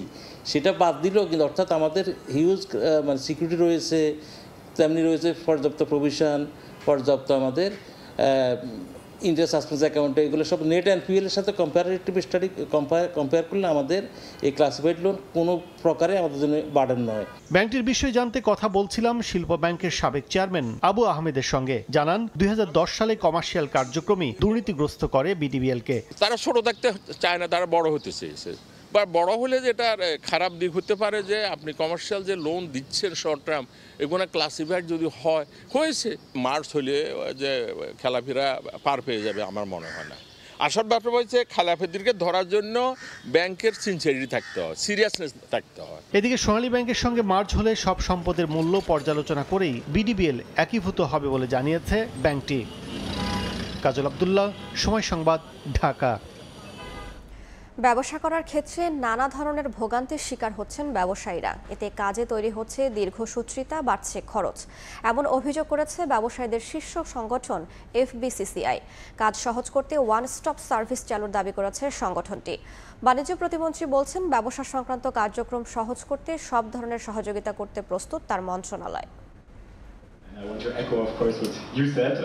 ভ্যাট ট্যাক্স সংগ্রহের নামে হয়রানির শিকার হচ্ছে উদ্যোক্তারা। বিভিন্ন সনদ জমা ও আনুষঙ্গিক খরচ বাড়ায় সূচকে পিছিয়ে পড়ছে দেশ। মঙ্গলবার এফবিসিসিআই আয়োজিত বাণিজ্যে বাধা বিষয়ক সেমিনারে এসব অভিযোগ করেন এফবিসিসিআই এর সভাপতি মাহবুবুল আলম। প্রতিটি ক্ষেত্রে ব্যাগ ট্যাক্স আহরণ ক্ষেত্রের জটিলতা এবং হয়রানিমূলক যে পরিস্থিতি সেখান থেকে আমাদের উদ্ধার করতে হবে।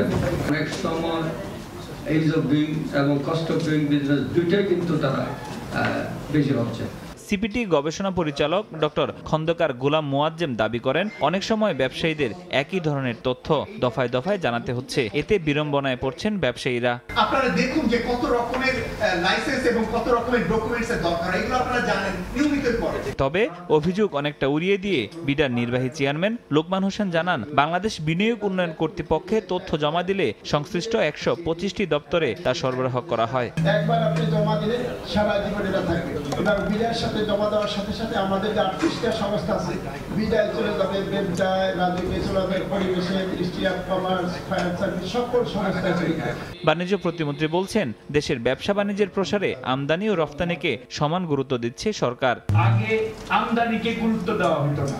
আমরা কিন্তু নতুন সরকার দায়িত্ব নেওয়ার পরে রপ্তানিকে যেভাবে গুরুত্ব দিচ্ছি আমদানিকেও গুরুত্ব দিচ্ছি। সরকার আগামী দুই বছরের মধ্যে ছাব্বিশটি দেশে মার্কেট অ্যাক্সেসে কাজ করছে বলেও জানান তিনি। ফরহাদুর রহমান সময় সংবাদ ঢাকা। পোশাকে স্মার্ট না হয়ে দেশের আইনজীবীদের দক্ষতায় স্মার্ট হওয়ার আহ্বান জানিয়েছেন প্রধান বিচারপতি ওবায়দুল হাসান। একই সঙ্গে উচ্চ আদালতে স্মার্ট আইনি সেবার প্রসারে জুডিশিয়াল কর্মকর্তাদের জন্য লিগাল এইড রিসার্চ সেন্টারের কাজ শুরু হয়েছে বলেও জানান তিনি। মঙ্গলবার রাজধানীর সুপ্রিম কোর্টের অডিটোরিয়ামে স্মার্ট লিগাল এইড, স্মার্ট দেশ বঙ্গবন্ধুর বাংলাদেশ এবং উচ্চ আদালতে স্মার্ট আইনি সেবার প্রসার শীর্ষক আলোচনা সভার আয়োজন করা হয়। সেখানে প্রধান অতিথি হিসেবে ছিলেন বাংলাদেশের প্রধান বিচারপতি ওবায়দুল হাসান। এ সময় তিনি বলেন, সব শ্রেণির বিচার ব্যবস্থার আশ্রয়স্থল হবে দেশের লিগাল এইড। বিচার কার্যক্রমে আর্টিফিশিয়াল ইন্টেলিজেন্স ব্যবহারের ওপরও জোর দেন তিনি।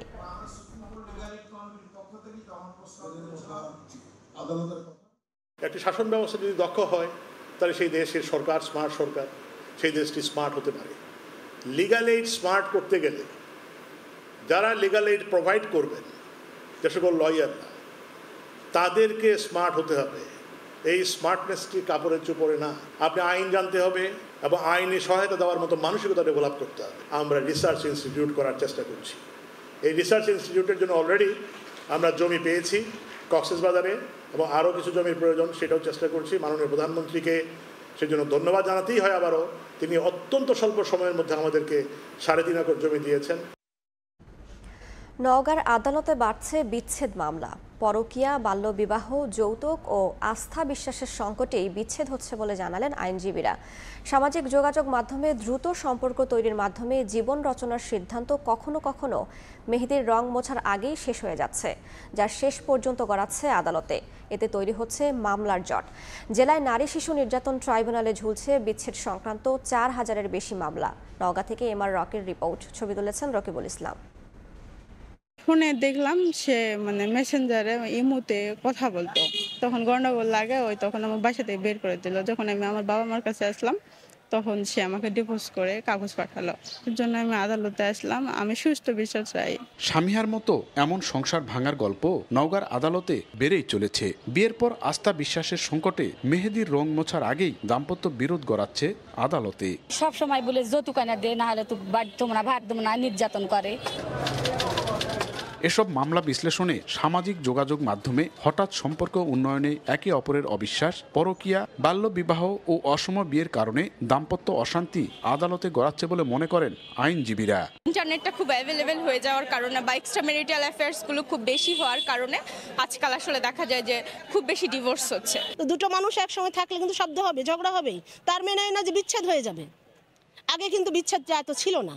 এখন বিচ্ছেদ হচ্ছে একমাত্র কারণ হচ্ছে সোশ্যাল মিডিয়া এই মেয়েদের হাতে বা এই ধরনের ছেলেদের হাতে অন্তত মোবাইলটা ইউজ না করাই বেটার মনে হয় আমার কাছে।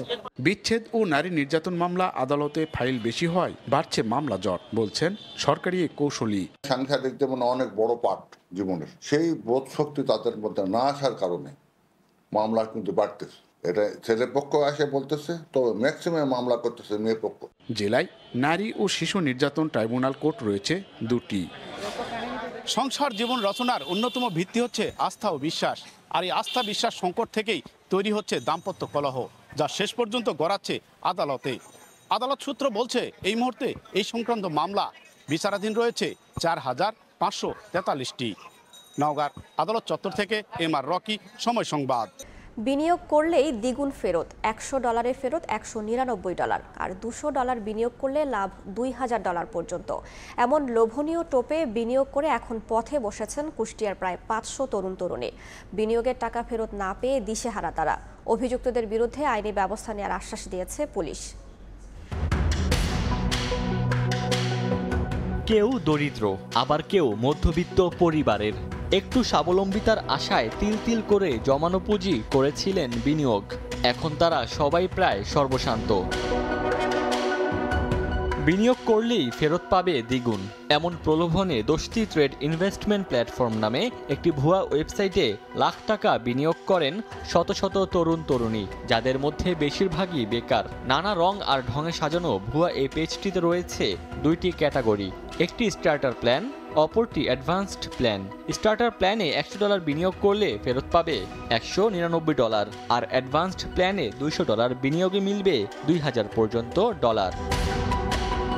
আবার বিনিয়োগকারীদের মধ্যেও রয়েছে সিলভার, গোল্ডেন ও ক্রাউন সম্বলিত বিভিন্ন পদ পদবি। এসব সুযোগ সুবিধা লুফে নিতে কুষ্টিয়ার মিরপুর উপজেলার প্রায় পাঁচশো যুবক যুবতী টাকা বিনিয়োগ করেন ভুয়া এই পেজে। আকাশ বলল যে ভাই টাকা উড়ান বানানোর একটা মেশিন তৈরি আছে আমার কাছে। মানে কি মেশিন? বলল যে ভাই প্রতিদিন টাকার একটা ইনকামের সোর্স আছে। দিনের পর দিন ফোন দেয় আমার বাসায় গরু ছিল গরু বেচছি। গরু বেচার পরে আপনার হচ্ছে পাঁচশো ডলারে প্রথমে ইনভেস্ট করি। দশ পনেরো দিন টাকা পেয়েছি তারপর আমি আর মোবাইল ফোনে যতই উদ্র দিই সাকসেস হয় না। আমার যে পরিমাণ টাকা দিচ্ছে আমাকে দিচ্ছে না নতুন গ্রাহক আবার সৃষ্টি করে ওদেরকে আবার প্রলোভনে ফেরাচ্ছে। তথ্য পাইছি যে গোপনে এরা হচ্ছে পাসপোর্ট করে ফেলছে এবং এদের ভিসাও নাকি হয়ে গেছে। এরা দেশের বাইরে চলে যাবে।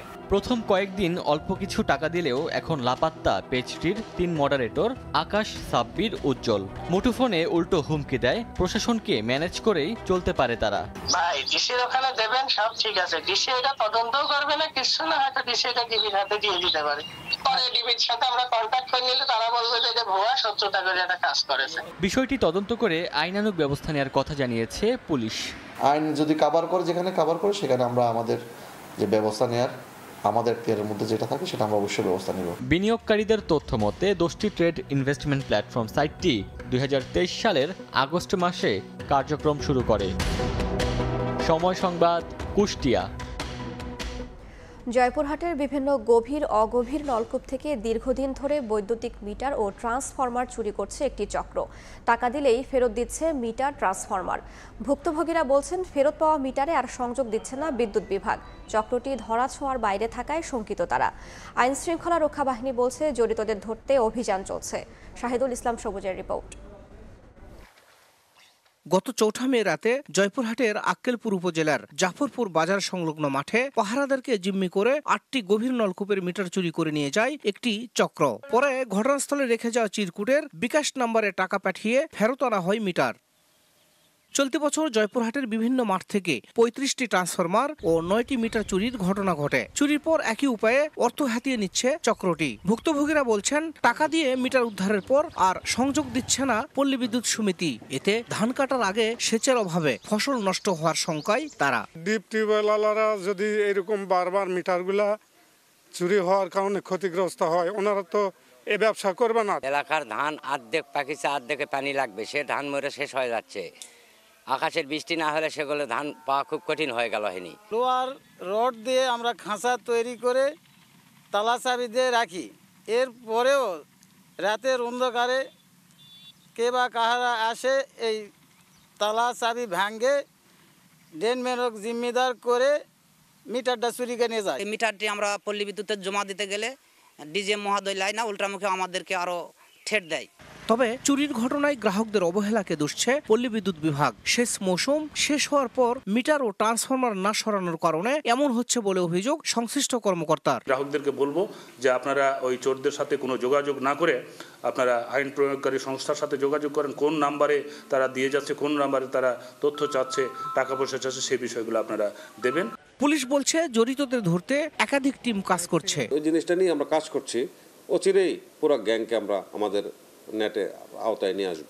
পল্লী বিদ্যুৎ সমিতির তথ্য মতে, গত তিন বছরে জয়পুরহাটে সাতশো চুয়াল্লিশটি ট্রান্সফরমার ও মিটার চুরি হয়েছে। শাহিদুল ইসলাম সবুজ, সময় সংবাদ, জয়পুরহাট। কর্মসংস্থান বাড়ানোর লক্ষ্যে নাটোরে নির্মাণ করা হচ্ছে চলনবিল স্মার্ট সিটি। এর মধ্যে শেষ হয়েছে প্রকল্পের বিশ ভাগ কাজ। এমনকি সিটির একাংশে নির্মিত Sheikh Kamal IT training and incubation সেন্টারে চলতি বছরের জানুয়ারি থেকে প্রশিক্ষণও শুরু করেছে আইসিটি মন্ত্রণালয়। শিগগিরই আরও নতুন প্রশিক্ষণার্থী সুযোগ পাবেন সফটওয়্যার ভিত্তিক খাতে দক্ষ হতে। আলমামনের পাঠানো তথ্য ও রকুনুজ্জামানের ছবি নিয়ে রিপোর্ট। চলন বিলের মাঝে বিশাল কর্মযজ্ঞ নির্মাণ করা হচ্ছে বড় বড় অবকাঠামো। বেকার সমাজকে দক্ষ জনশক্তিতে রূপান্তরিত করার লক্ষ্যে নাটোরের সিংড়ায় চলছে চলনবিল স্মার্ট সিটির নির্মাণ কাজ। এরই মধ্যে শেষ হয়েছে প্রকল্পের বিশ ভাগ কাজ। এমনকি সিটির একাংশে নির্মিত Sheikh Kamal IT training and incubation সেন্টারে চলতি বছরের জানুয়ারি থেকে চারটি বিষয়ের উপর প্রশিক্ষণও শুরু করেছে আইসিটি মন্ত্রণালয়। প্রথম পর্যায়ে বিনামূল্যে প্রশিক্ষণ নিচ্ছেন তিনশো জন। এই ট্রেনিংটা করছি, কারণ আমি আমার সংসারের পাশে দাঁড়াতে চাই। এখান থেকে আমরা অনেক কাজ শিখলাম আর যার মাধ্যমে আমরা অনেক টাকা ইনকাম করতে পারব। ফ্রি টাইম পার করার জন্য এখানে ট্রেনিং করতেছি পড়াশোনার পাশাপাশি নিজের ইনকাম নিজে করতে পারব এই জন্য। কর্মসংস্থানের সুযোগ বাড়াতে বর্তমানে Sheikh Kamal IT training and incubation সেন্টারে এক হাজার জনকে প্রশিক্ষণ দেওয়া সম্ভব বলে জানান সংশ্লিষ্টরা। আমি তাদেরকে গ্রাফিক্স ডিজাইনের উপরে শিক- শিক্ষাদান করতেছি। যাতে এনারা নিজেরাই স্বাবলম্বী হতে পারে। প্রথম স্টেপ চলতেছে। প্রথম স্টেপ ছয় মাস শেষ হলে আবার দ্বিতীয় স্টেপ শুরু হবে। এভাবে পর্যায়ক্রমে ট্রেনিং চলতে থাকবে। আশা করি সামনে এই সে ট্রেনিং শেষ হতে হতে এরা আরও একটা ভালো জায়গায় ভালো স্থান পাবে এবং আরও দক্ষ অর্জন করবে। দু হাজার ত্রিশ সালের মধ্যে এই সিটি থেকে প্রতি বছর বিশ হাজার প্রশিক্ষণার্থীর কর্মসংস্থানের সুযোগ করে দেওয়ার আশ্বাস আইসিটি প্রতিমন্ত্রীর। আমাদের প্রায় সহস্রাধিক তরুণ তরুণী তারা ফ্রিল্যান্সিং এর ট্রেনিং পাবে এবং কর্মসংস্থানের ব্যবস্থা করতে পারবে। এবং আমাদের যে নলেজ পার্ক সহ আমাদের টেকনিক্যাল ট্রেনিং সেন্টার এবং টেকনিক্যাল স্কুল অ্যান্ড কলেজ সেটারও নির্মাণ কাজ কিন্তু শেষ হয়েছে। পনেরো একর আয়তনের চলনবিল স্মার্ট সিটিতে থাকবে একটি হাইটেক পার্ক, একটি কারিগরি স্কুল অ্যান্ড কলেজ, একটি মিনি স্টেডিয়াম ও একটি আধুনিক সিনেমা হল। প্রকল্পের ব্যয় ধরা হয়েছে প্রায় চারশো কোটি টাকা। সময় সংবাদ, নাটোর। দেশে বিভাজনের রাজনীতি চলছে। বিভাজন বাদ দিয়ে সবাইকে ঐক্যবদ্ধভাবে কাজ করে বাংলাদেশকে এগিয়ে নেওয়ার আহ্বান জানিয়েছেন গৃহায়ন ও গণপূর্ত মন্ত্রী র আমা ওবায়দুল মোক্তাদির চৌধুরী।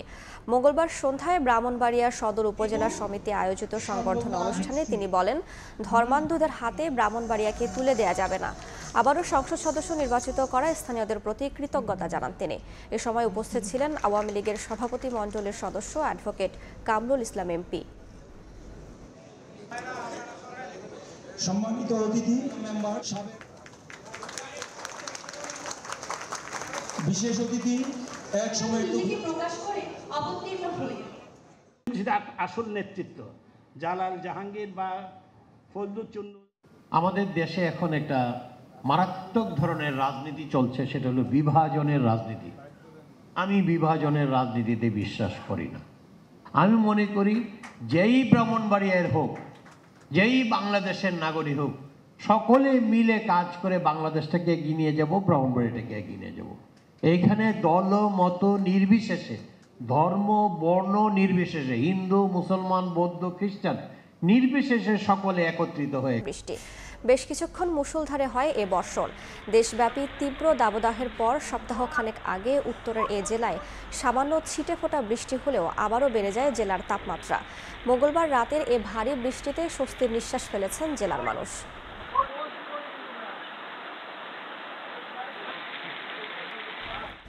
পুরানো বড় গাছে বেশ কয়েক বছর ধরেই আমের দেখা পাচ্ছে না রাজশাহীর বাগানিরা।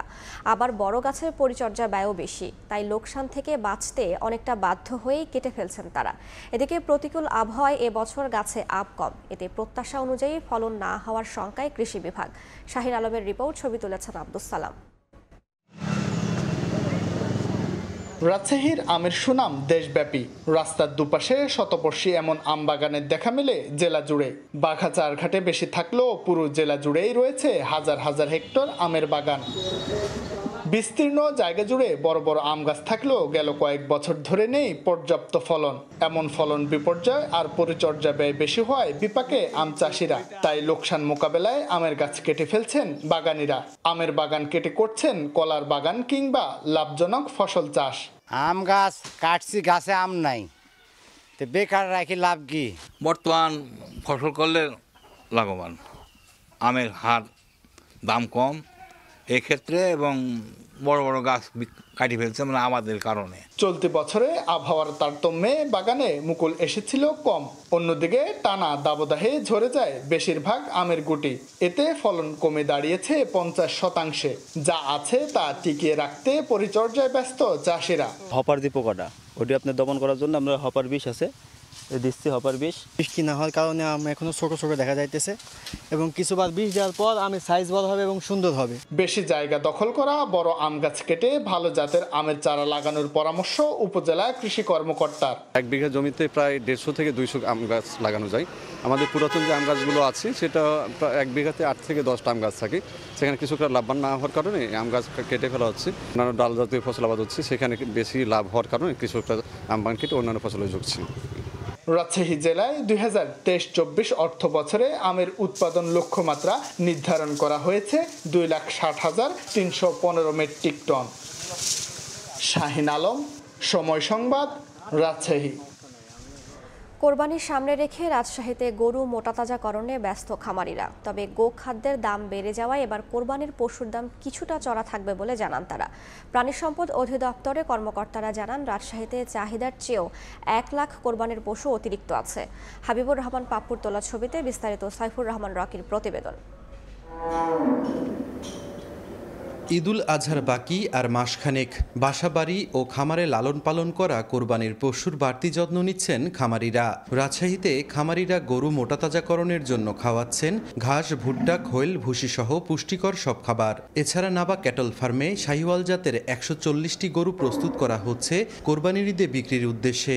এক একটি গরুর ওজন আড়াইশো থেকে সাতশো কেজি পর্যন্ত। গরুগুলির খাদ্য ব্যবস্থাপনা সম্পূর্ণ প্রাকৃতিক উপায়ে অর্থাৎ আমাদের নিজস্ব চাষকৃত ঘাস সাইলেজ এবং অল্প পরিমাণে দানাদার খাবার দিয়ে লালন করা হয়। নিয়মিত দেখা যাচ্ছে যে গোসল করানো তারপরে হচ্ছে গ্রুমিং করানো যেটা হচ্ছে পরিষ্কার পরিচ্ছন্ন রাখা। কোরবানিকে সামনে রেখে এই যত্নটা আমরা আর কি বেশি বেশি নিচ্ছি। ঈদুল আজহায় দেশি গরুর চাহিদা সবচেয়ে বেশি থাকে। সপ্তাহ দুয়েক পর এসব গরু বিক্রির উদ্দেশ্যে হাটে তোলা হবে। তবে গবাদি পশুর খাদ্যের দাম যেভাবে বেড়েছে সে তুলনায় কোরবানির পশুর দাম কিছুটা চড়া থাকতে পারে বলে জানান প্রান্তিক খামারিরা। খাওয়ার দাম ধরেন অনেক প্রচুর দাম। তার লাগে আমরা একটু দামের জন্য রেখেছি গরুটা। দাম টাম কম হতো খাবার দাবারের তাহলে হয়তো একটু পুষলে মানে ভালো হতো মানে বেচা কিনা করলে আমাদের লাভ আসতো। এবারকার কুরবানিতে আমরা গরুর হয়তো লাভবান হইতে পারি।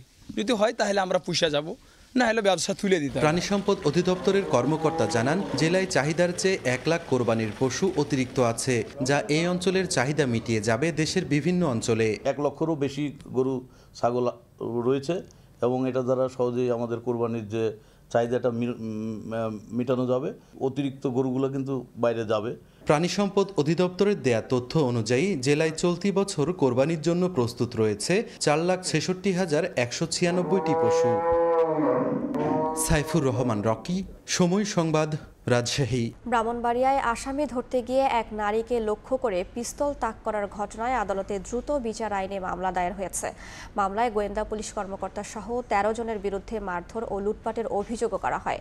মঙ্গলবার সিনিয়র জুডিশিয়াল ম্যাজিস্ট্রেট রাকিবুল হাসানের আদালতে ভুক্তভোগী বন্যা বেগম বাদী হয়ে এ মামলা দায়ের করেন। অভিযোগে বলা হয়, সদর উপজেলার থলিয়ারা গ্রামের বন্যা বেগমের স্বামী নূরে আলমের বিরুদ্ধে গত দুই এপ্রিল মিথ্যা মামলা করেন এনামুল হক নামে এক ব্যক্তি।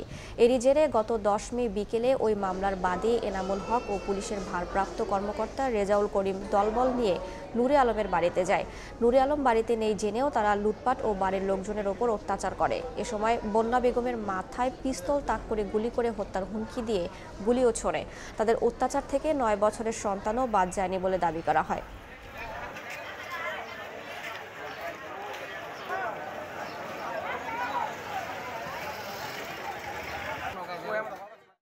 রেজাউল করিমে আমার পিস্তল দইরা সহযোগিতা কইরা দিছে ওরারে।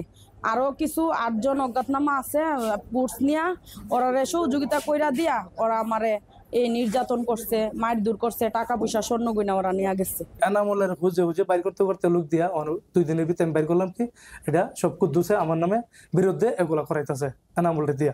তাই জন্য আমরা এনামলটা এক নম্বর আসামি দিলাম। বাদিনী তার ডিটেলস ঘটনা বলল তারপর স্যার ওইটা সব সবগুলো শুইলে তারপর উম, গ্রহণ করে তারপর বাদিনীর আপনার সিগনেচার নিয়ে আসলে হ্যাঁ পরে আদেশ দিবে বলে আমাদেরকে আশ্বস্ত করেন।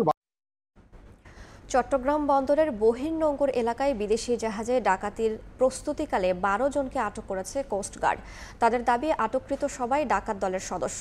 এ সময় তাদের কাছ থেকে বেশ কিছু দেশীয় অস্ত্র উদ্ধার করা হয়। কোস্টগার্ড জানায়, জাহাজে ডাকাতির খবর পেয়ে সোমবার রাত সাড়ে বারোটার দিকে তারা ছদ্মবেশে কয়েকটি বোটে বহির্নোঙ্গর এলাকায় অবস্থান করে। পরে মঙ্গলবার ভোরে সেখান থেকে দুই মাইল উত্তর পূর্বে একটি ইঞ্জিন চালিত কাঠের বোটের গতিবিধি সন্দেহজনক মনে হলে তাদেরকে থামার নির্দেশ দিলেও তারা পালানোর চেষ্টা করে। পরে এক ঘণ্টা ধাওয়া করে বোটটিকে থামিয়ে বারো জন ডাকাতকে আটক করা হয়। এ সময় তাদের কাছ থেকে পনেরোটি দেশীয় অস্ত্র ও বারোটি মোবাইল জব্দ করা হয়।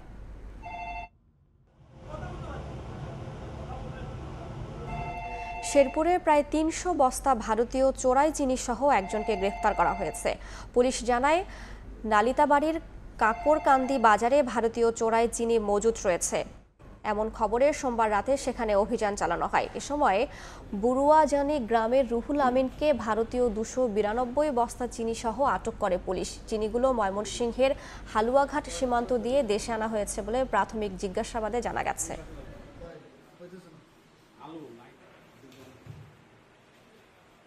ধর্ম, বর্ণ নির্বিশেষে দেশ গড়ি সম্প্রীতির খাগড়াছড়ি। এই প্রতিপাদ্যে খাগড়াছড়িতে রাজা মংপ্রু সেইন শিক্ষাবৃত্তি ও সার্টিফিকেট প্রদান করা হয়েছে।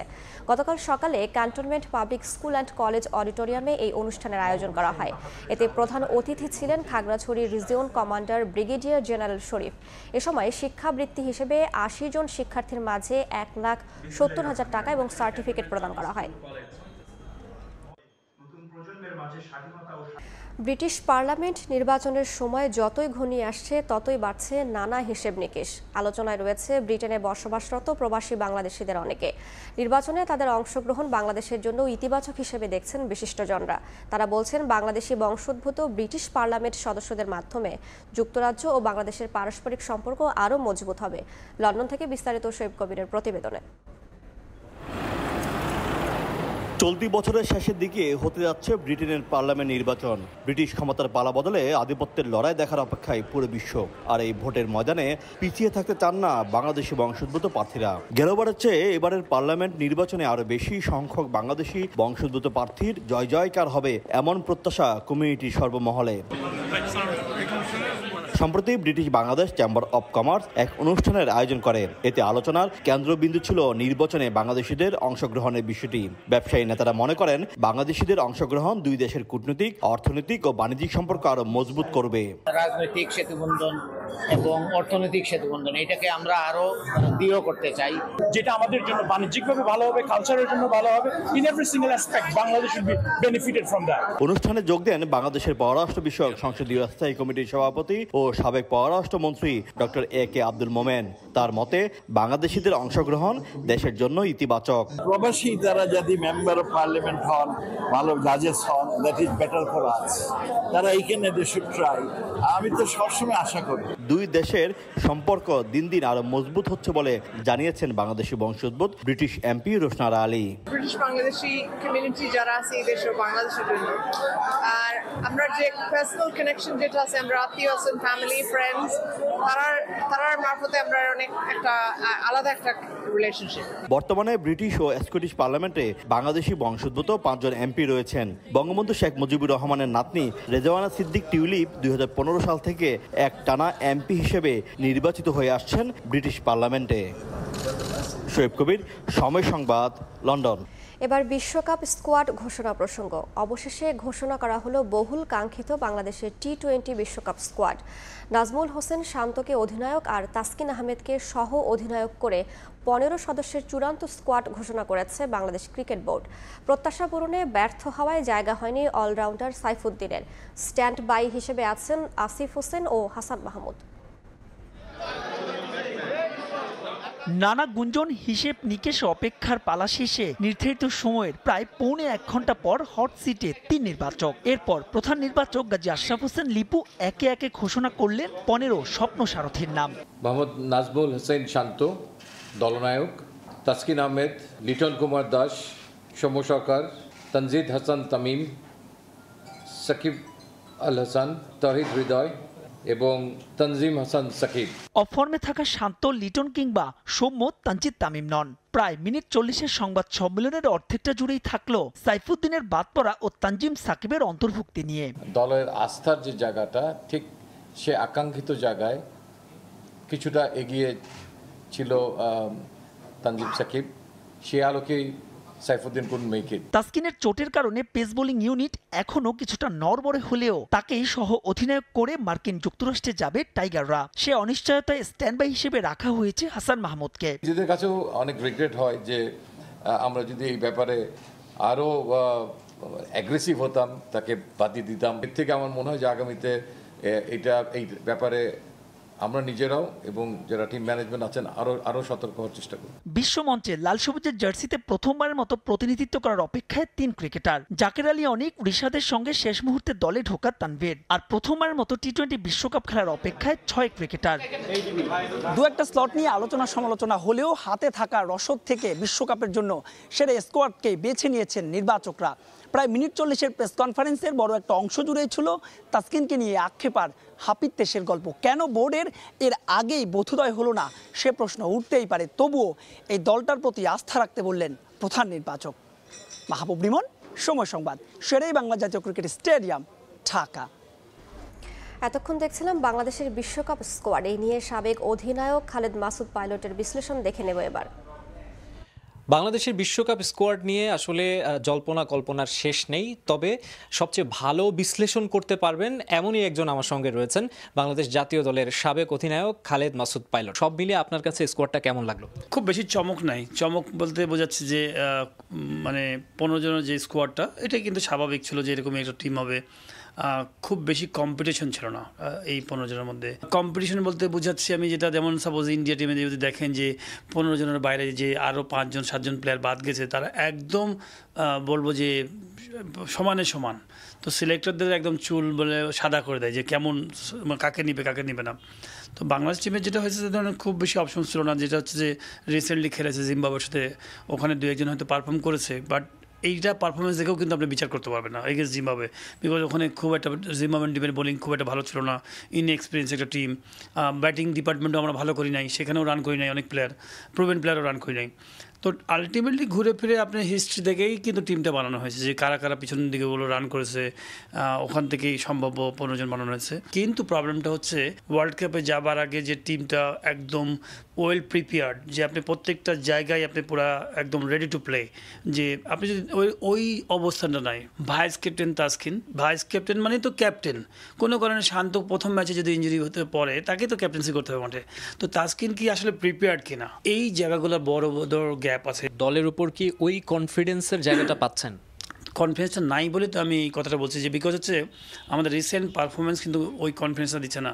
যখন আপনি ধারাবাহিকভাবে পারফর্ম করবেন, তখন কিন্তু আপনি কিন্তু কনফিডেন্সটা চলে আসে। পারফরমেন্সের অভাব আছে আমি বলব কনফিডেন্সের ঘাটতি আছে। সব দলেই টপ অর্ডার ব্যাটসম্যানরা অনেক রান করে। বাংলাদেশে যদি দেখেন লিটন দাস, সৌম্য সরকার কিংবা কিংবা নাজমুল হোসেন শান্ত ক্যাপ্টেন যিনি, তারাও আসলে সেই রকম টাচে নেই। এই জায়গাটা কতটুকু মানে কনসার্নের না, এটাই আমি বলছি যে বাংলাদেশ টিমের এই ওয়ার্ল্ড কাপে সবচেয়ে বড় একটা প্রবলেম আছে আমরা হয়তো প্লেয়ার পাচ্ছি নামে, কিন্তু পারফরমেন্সটা কিন্তু আসলে ওয়ার্ল্ড কাপে ক্যারি করার জন্য ওয়ার্ল্ড কাপে ভালো খেলার জন্য যে পারফরমেন্সটা দরকার, সেই পারফরমেন্সটা কিন্তু আমরা পাচ্ছি না।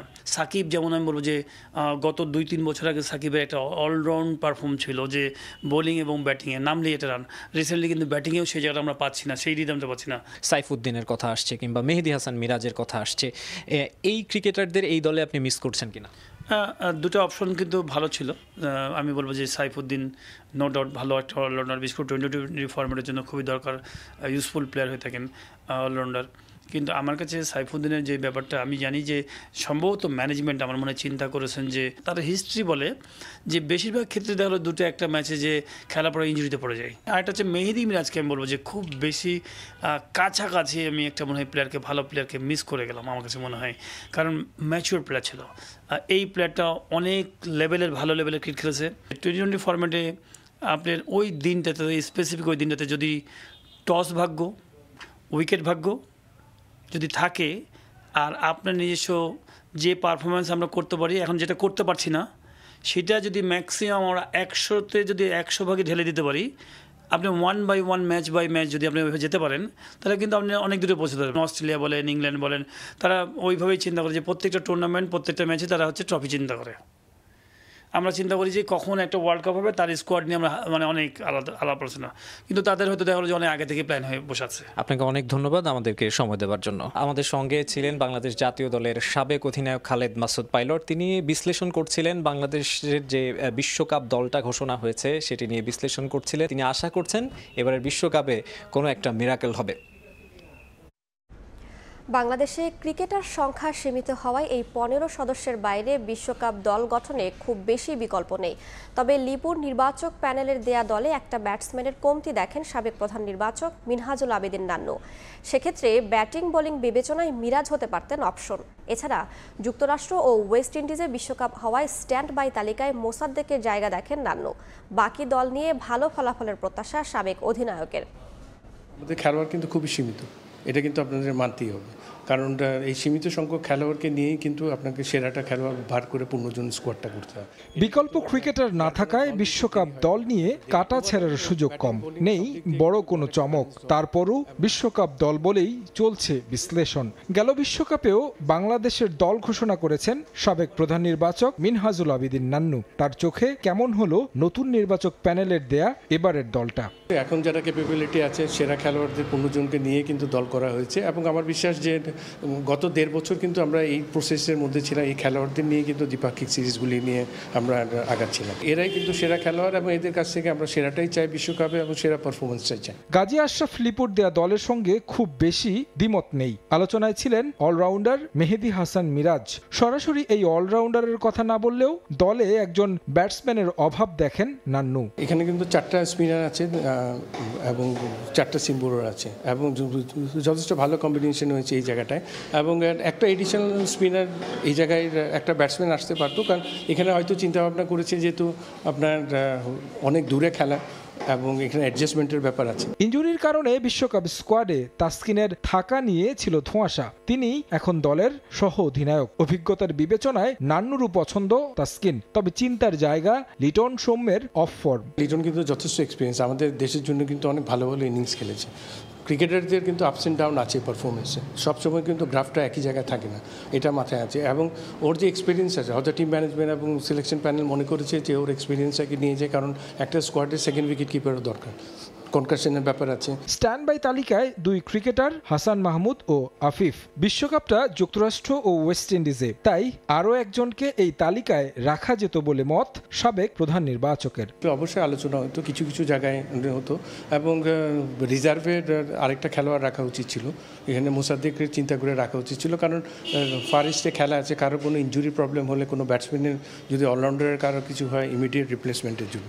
নান্নুর দেয়া সাতাশ সদস্যের পুল থেকেই গঠন করা হয়েছে বিশ্বকাপ স্কোয়াড, যা কিছুটা হলেও তৃপ্তি দিচ্ছে সাবেক প্রধান নির্বাচককে। বিশ্ব আসরের সবাই সেরা পারফরমেন্স করবে এমন প্রত্যাশা তার। তারেক হাসান শিমুল, সময় সংবাদ, ঢাকা। ফেডারেশন কাপের খবর, ঢাকা আবাহনীকে তিন শূন্য গোলে হারিয়ে ফেডারেশন কাপের ফাইনাল নিশ্চিত করেছে বসুন্ধরা কিংস।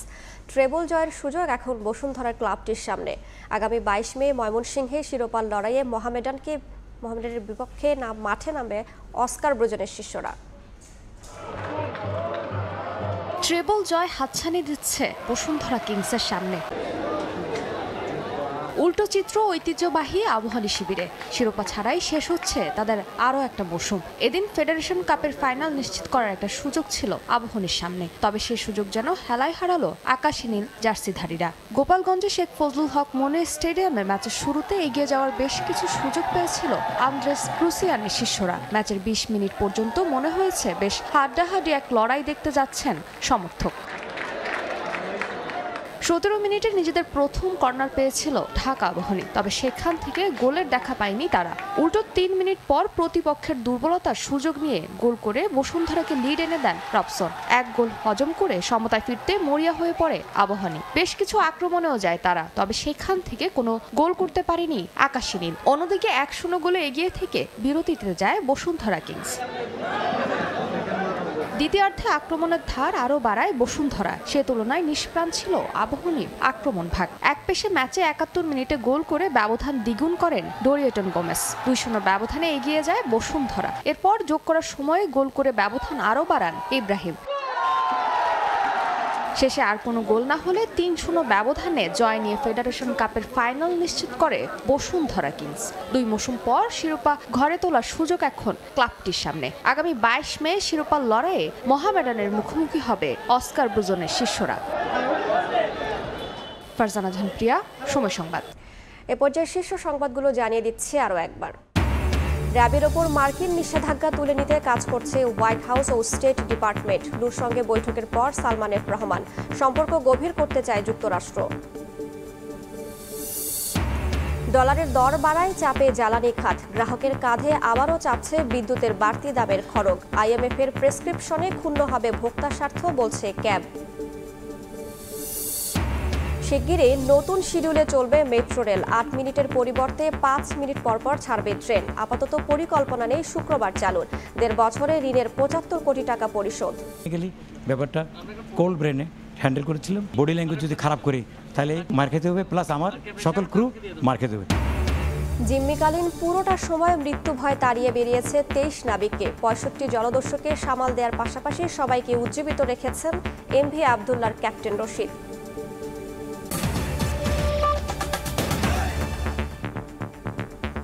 এই ছিল ভোরের সময়। এরপর সকালের সময় সঙ্গে থাকবেন সহকর্মী ছোয়া খন্দকার। ধন্যবাদ, রাইসা। সকালের সময় নিয়ে ফিরছি কিছুক্ষণ পর। সঙ্গে থাকুন সময়ের।